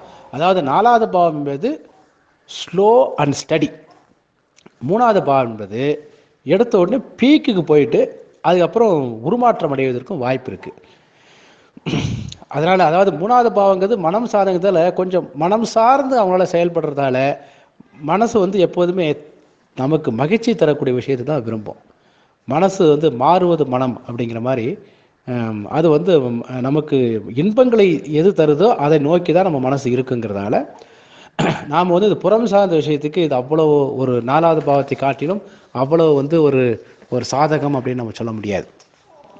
அந்த வகையில் பல்வேறு வகையில் நிறைய விஷயத்தை நம்ம சீர்தூக்கி பார்க்கும்போது நிறைய விஷயத்தை பார்க்கும்போது நமக்கு வந்து இந்த மூணாவது பாவத்தை விட ஒரு ஒரு ஸ்லோ அண்ட் ஸ்டடி அதாவது ஸ்லோவாக இருந்தாலும் கூட அந்த ஸ்டடி அப்படிங்கிற அமைப்புங்கிறது நிலையான விஷயங்கள் இரு- விஷயமா இருக்கிறதால இந்த நாலாவது பாவங்கிறது நல்ல பாவமாக தான் வருது. அது ரொம்ப உங்களுக்கு ஈஸியாக புரிஞ்சணும் புரியணும்னு பார்க்கும்போது நாலாவது பாவத்துடைய அடுத்த பரிணாமம் என்பது ஆறா போகுது. அது வெற்றி ஸ்தானமாக போகுது. நாலாவது பாவத்தை நீங்கள் கொஞ்சம் நல்லா கரெக்டாக அடுத்த பரிணாமத்தை கொண்டு போனால் அது நாளை வந்து நல்லா டெவலப் பண்ணக்கூடிய பாவம் தான். மூணாவது பாவத்துடைய அடுத்த பரிணாம பரிணாமம் ஐந்துன்னு போகிறதால இந்த மூணாவது பாவம் வந்து ரொம்ப அதிகமாக போனாலும் பிரச்சனை தான். அதனால தான் ரொம்ப ஸ்மார்ட் ஒர்க் பண்ணுறவங்க வந்து ஹார்ட் ஒர்க் பண்ண மாட்டாங்க. அதே நேரத்தில் சுகவாசியாக இருப்பாங்க. அடிக்கடி வேலை இல்லாத நபராகவும் இருப்பாங்க. பெரும்பாலும் வந்து இந்த சாஃப்ட்வேர் லைனில் இருக்கிறவங்க வந்து ரொம்ப ஹார்ட் ஒர்க்கு ரிஸ்க் எடுத்து பண்ணுறது ரெண்டாவது வேர்வை சிந்தி பண்ணுறது உடம்பை வ வணங்கி பண்ணுறது ஒரு கட்டுப்பாடாக இருக்கிறது இது மாதிரிலாம் இருக்காது. நிறைய பேர் பார்த்தீங்கன்னா அதாவது இந்த சாஃப்ட்வேர் லைனில் தான் நிறைய இந்த அந்த நிறைய இந்த இந்த இந்த இல்லீகல் கான்டாக்ட்ஸ் இந்த கள்ள தொடர்புகள் இதெல்லாம் நிறைய வரத்துக்கு எல்லா துறையும் கம்பேர் பண்ணும்போது சாஃப்ட்வேர் துறையில் கொஞ்சம் அதிகம். இதே மெக்கானிக்கல் இந்த மாதிரி துறையில் இருக்கிறவங்க எல்லாருமே கொஞ்சம் பொறுப்போடு தான் இருப்பாங்க. அவங்களுக்கு என்ன அப்படின்னா அது அவங்க வந்து மெஷினாவோடய பழகி பழகி போனதால் தன்னுடைய உணர்ச்சியை வெளிக்காட்ட தெரியாது. அதனால் அவங்க கொஞ்சம் யதார்த்தமான லைஃப்லே அதனால் அழகுபடுத்திக் கொள்ளக்கூடிய அமைப்புலாம் இது இருக்காது. ரெண்டாவது முன்னேற்றம் அடைந்த நபர்கள் நிறைய பேர். வாழ்க்கையில் வந்து பார்த்திங்கன்னா அந்த நாலாவது பாவத்தின் வழியாக தான் வராங்க. ரொம்ப ஹார்ட் ஒர்க் பண்ணுறது சின்சியராக இருக்குது கெட்ட அதாவது அதாவது சிற்றின்ப நாட்டம் வச்சு இல்லாமல் இருக்கிறது இதெல்லாம் இருந்தால் தான் ஒரு மனுஷனை வந்து தன்னுடைய அடுத்த கட்டத்துக்கு போக முடியும். இது மூணு அதாவது நாலாவது பாவத்துடைய தன்மை அதாவது நாலாவது பாவம் என்பது ஒரு பெரிய அதிகாரி அது மாதிரிலாம் சொல்ல வரல. ஒரு நிறுவனம் எடுத்திங்கன்னா ஒரு ஆயிரம் பேர் வேலை செய்யக்கூடிய ஒரு கம்பெனியில் ஒரு சிமெண்ட் ஃபேக்ட்ரின்னு வச்சுக்கோங்களேன். ஒரு சிமெண்ட் ஃபேக்ட்ரியில் ஆயிரம் பேர் வேலை செய்கிறாங்கன்னா அதில் நாலாவது பாவம் என்பது எவ்வளோ பேர்னா கிட்டத்தட்ட எழுநூறு பேர் நாலாவது பாவம். அப்போ அந்த நாலாவது பாவம் என்பது ரொம்ப உயர்ந்த நபர்கள் அப்படிலாம் இல்லை. அது செஞ்ச வேலையை திருப்பி திருப்பி செய்கிறவங்க வேலையில் வந்து பத்துக்கு ஏழாவது பாவமாக இருக்கிறதால அவங்களுக்கு வந்து வேலை வந்து இருந்துக்கிட்டே இருக்கும். செஞ்ச வேலையை திருப்பி திருப்பி செய்வாங்க. கருவிகளோட சம்மந்தம் இருக்கிறவங்க. சுயமாக சிந்திக்கக்கூடிய திறன் வந்து கொஞ்சம் குறைவாக இருக்கும். சுயமாக சிந்திக்கக்கூடிய திறன் வந்து முப்பது சதவீதம் இருக்கும். அப்படின்னா என்னென்னா அவருக்கு மேலதிகாரிகள் இந்தந்த வேலையெல்லாம் செய்யணும் அந்த வேலை செஞ்சுட்டே இருப்பாங்க. டெய்லி காலையில் ஒரு ஆஃப் அன் அவர் மேலதிகாரி வந்து அவர்கிட்ட சொல்லிட்டு போயிட்டாங்கன்னா மீதி ஏழரை மணி நேரம் மேலதிகாரி எல்லாமே அவங்கள வேலை செய்வாங்க. இது நாலாவது பாவத்துடைய தன்மை. மூணாவது பாவத்துடைய தன்மை மேலதிகாரிகள் ஒரு பத்து நிமிஷம் அவங்ககிட்ட பேசினா போதும். அதை புரிஞ்சுக்கிட்டு முழுக்க முழுக்க அவங்களாகவே செயல்படுறது. அதாவது சுதந்திரம் என்பது இந்த மூணாவது பாவத்துக்கு ரொம்ப அதிகம். மார்க்கெட்டிங் லைன் சொல்கிறோம் பார்த்தீங்களா மார்க்கெட்டிங் லைனில் இருக்கிறவங்க ஒரு சிமெண்ட் ஃபேக்ட்ரியில் எவ்வளோ பேர் இருப்பாங்க? ஒரு ஆயிரம் பேர் ஒர்க் பண்ணக்கூடிய அந்த சிமெண்ட் ஃபேக்ட்ரியில் மூணாவது பாவத்துடைய நபர்கள் வந்து அதிகபட்சமாக இருபதுலேருந்து இருபத்தஞ்சி பேர் தான். அப்போ இந்த மூணாவது பாவம் என்பது வேலை வாய்ப்புகள் அதாவது இப்போ இது வந்து நாலாவது பாவத்தில் சிமெண்ட் ஃபேக்ட்ரிங்கிறது ப்ரொடக்ஷன் அப்படிங்கிறதால அது நாலாவது பாவத்தில் தொழில் எழும்போது இங்கே அதிகமாக இதே கம்ப்யூட்டர் லைனில் எடுத்துங்களேன். கம்ப்யூட்டர் லைனில் கூட ஒரு ஒரு கம்ப்யூட்டர் சாஃப்ட்வேர் கம்பெனி ஆரம்பிக்கிறதுக்கு பெரிய எந்திரங்கள் பெரிய இதுவெல்லாம் இல்லை. ஒரு டேபிள் நாலு லேப்டாப்பு நாலு பசங்க அவ்வளோதான் நிரந்தரமற்ற வேலை தான் எப்போனா மாற்றிக்கலாம் வீட்டுக்குள்ளேயோட பண்ணிக்கலாம். இந்த மாதிரி நிறைய சுதந்திரம் இருக்கிறதால கட்டுப்பாடு இல்லாத மனிதர்களால் அதில் ஜெயிப்பதற்கு கஷ்டம். அதில் தான் என்ன பண்ணுறாங்கன்னா அந்த சுதந்திரத்தை அதிகமாக கொடுக்கும்போது அவங்களால வந்து வேறு வகையில் அவங்க மனசு திசை திசை மாறுவதற்கு வாய்ப்பு இருக்கிறதால நாம் என்ன சொல்கிறோன்னா இந்த மூணாவது பாவம் என்பது அந்த தனி மனித வளர்ச்சிக்கு ஒரு அதாவது குதிரைக்கு கடிவாளம் கட்டினா தான் அது நேராக போகும். இந்த கடிவாளம் இல்லைன்னா அது திசை திரும்பிடும். அந்த வகையில் மனுஷனை ஒரு கட்டுக்கோப்பாக எடுத்து செல்வதற்கு நாம் சில கட்டுப்பாடுகள் இருக்கணும். எப்பவுமே கட்டுப்பாடுகள் இரு இருக்கிற லைஃப் தான் எப்பவுமே வளர்ச்சிக்கு. வளர்ச்சி என்பதே கட்டுப்பாடுகள் இருக்கக்கூடியது தான் அதாவது மூணாவது பாவங்கிறது நம்ம கட்டுப்பாடு இல்லாத பாவம்னு சொல்ல வரல. கட்டுப்பாடு வந்து நாலாவது பாவத்தை கம்பேர் பண்ணும்போது மூணாவது பாவங்கிறது எதையும் டேக் இட் ஈஸி பாலிசி அப்படிங்கிற தத்துவத்தை கொண்டது தான் இந்த மூணாவது வீடு. ஒரு சின்ன உதாரணம் சொல்கிறேன் பாருங்களேன். மூணாவது பாவ தொழிலில் செய்யக்கூடிய தவறுகளும் நாலாவது பாவ தொழில் செய்ய செய்யக்கூடிய தவறுகளுக்கு என்ன வித்தியாசம் சொல்லிட்டு பாருங்களேன். இப்போ சாஃப்ட்வேர் சம்மந்தமான லைனில் ஒருத்தர் ஒர்க் பண்ணிகிட்ருக்கார் ஏதோ ஒரு விஷயத்தை தப்பாக கனெக்ட் பண்ணி பண்ணிடுறாருன்னா அவருக்கு ஒரு ரெண்டு மணி நேரம் மூணு மணி நேரம் டைம் வேஸ்ட் அவ்வளோதான் அது பெரிய பாதிப்பு இல்லை. ஆனால் ப்ரொடக்ஷன் சைடில் இருக்கிறவர் ஏதோ ஒரு வகையில் ஒரு கட்டிங் மிஷினில் வச்சு ஒரு பொருளை கட் பண்ணும்போது தவறுதலாக கட் பண்ணிட்டார்னா கிட்டத்தட்ட பெரிய லாஸ் ஆகிடும் அது. அப்போ என்னென்னா அந்த இந்த ப்ரொடக்ஷன் லைனில் இருக்கிறவங்க ரொம்ப கவனமாக அந்த ஐந்துக்கு பதினெட்டாவது பாவமாக பொழுதுபோக்கு இந்த மாதிரிலாம் இல்லாமல் ரொம்ப கவனமாக இருந்தால் தான் அந்த ப்ரொடக்ஷனில் வந்து சக்ஸஸ் ஆக முடியும். அப்போது மனக்கட்டுப்பாடு என்பது தான் இந்த நாலாவது பாவத்தில் சொல்லக்கூடிய நம்ம இந்த பங்களிப்பு. மீட்டை கன்வியூ பண்ணுறேன் சார்.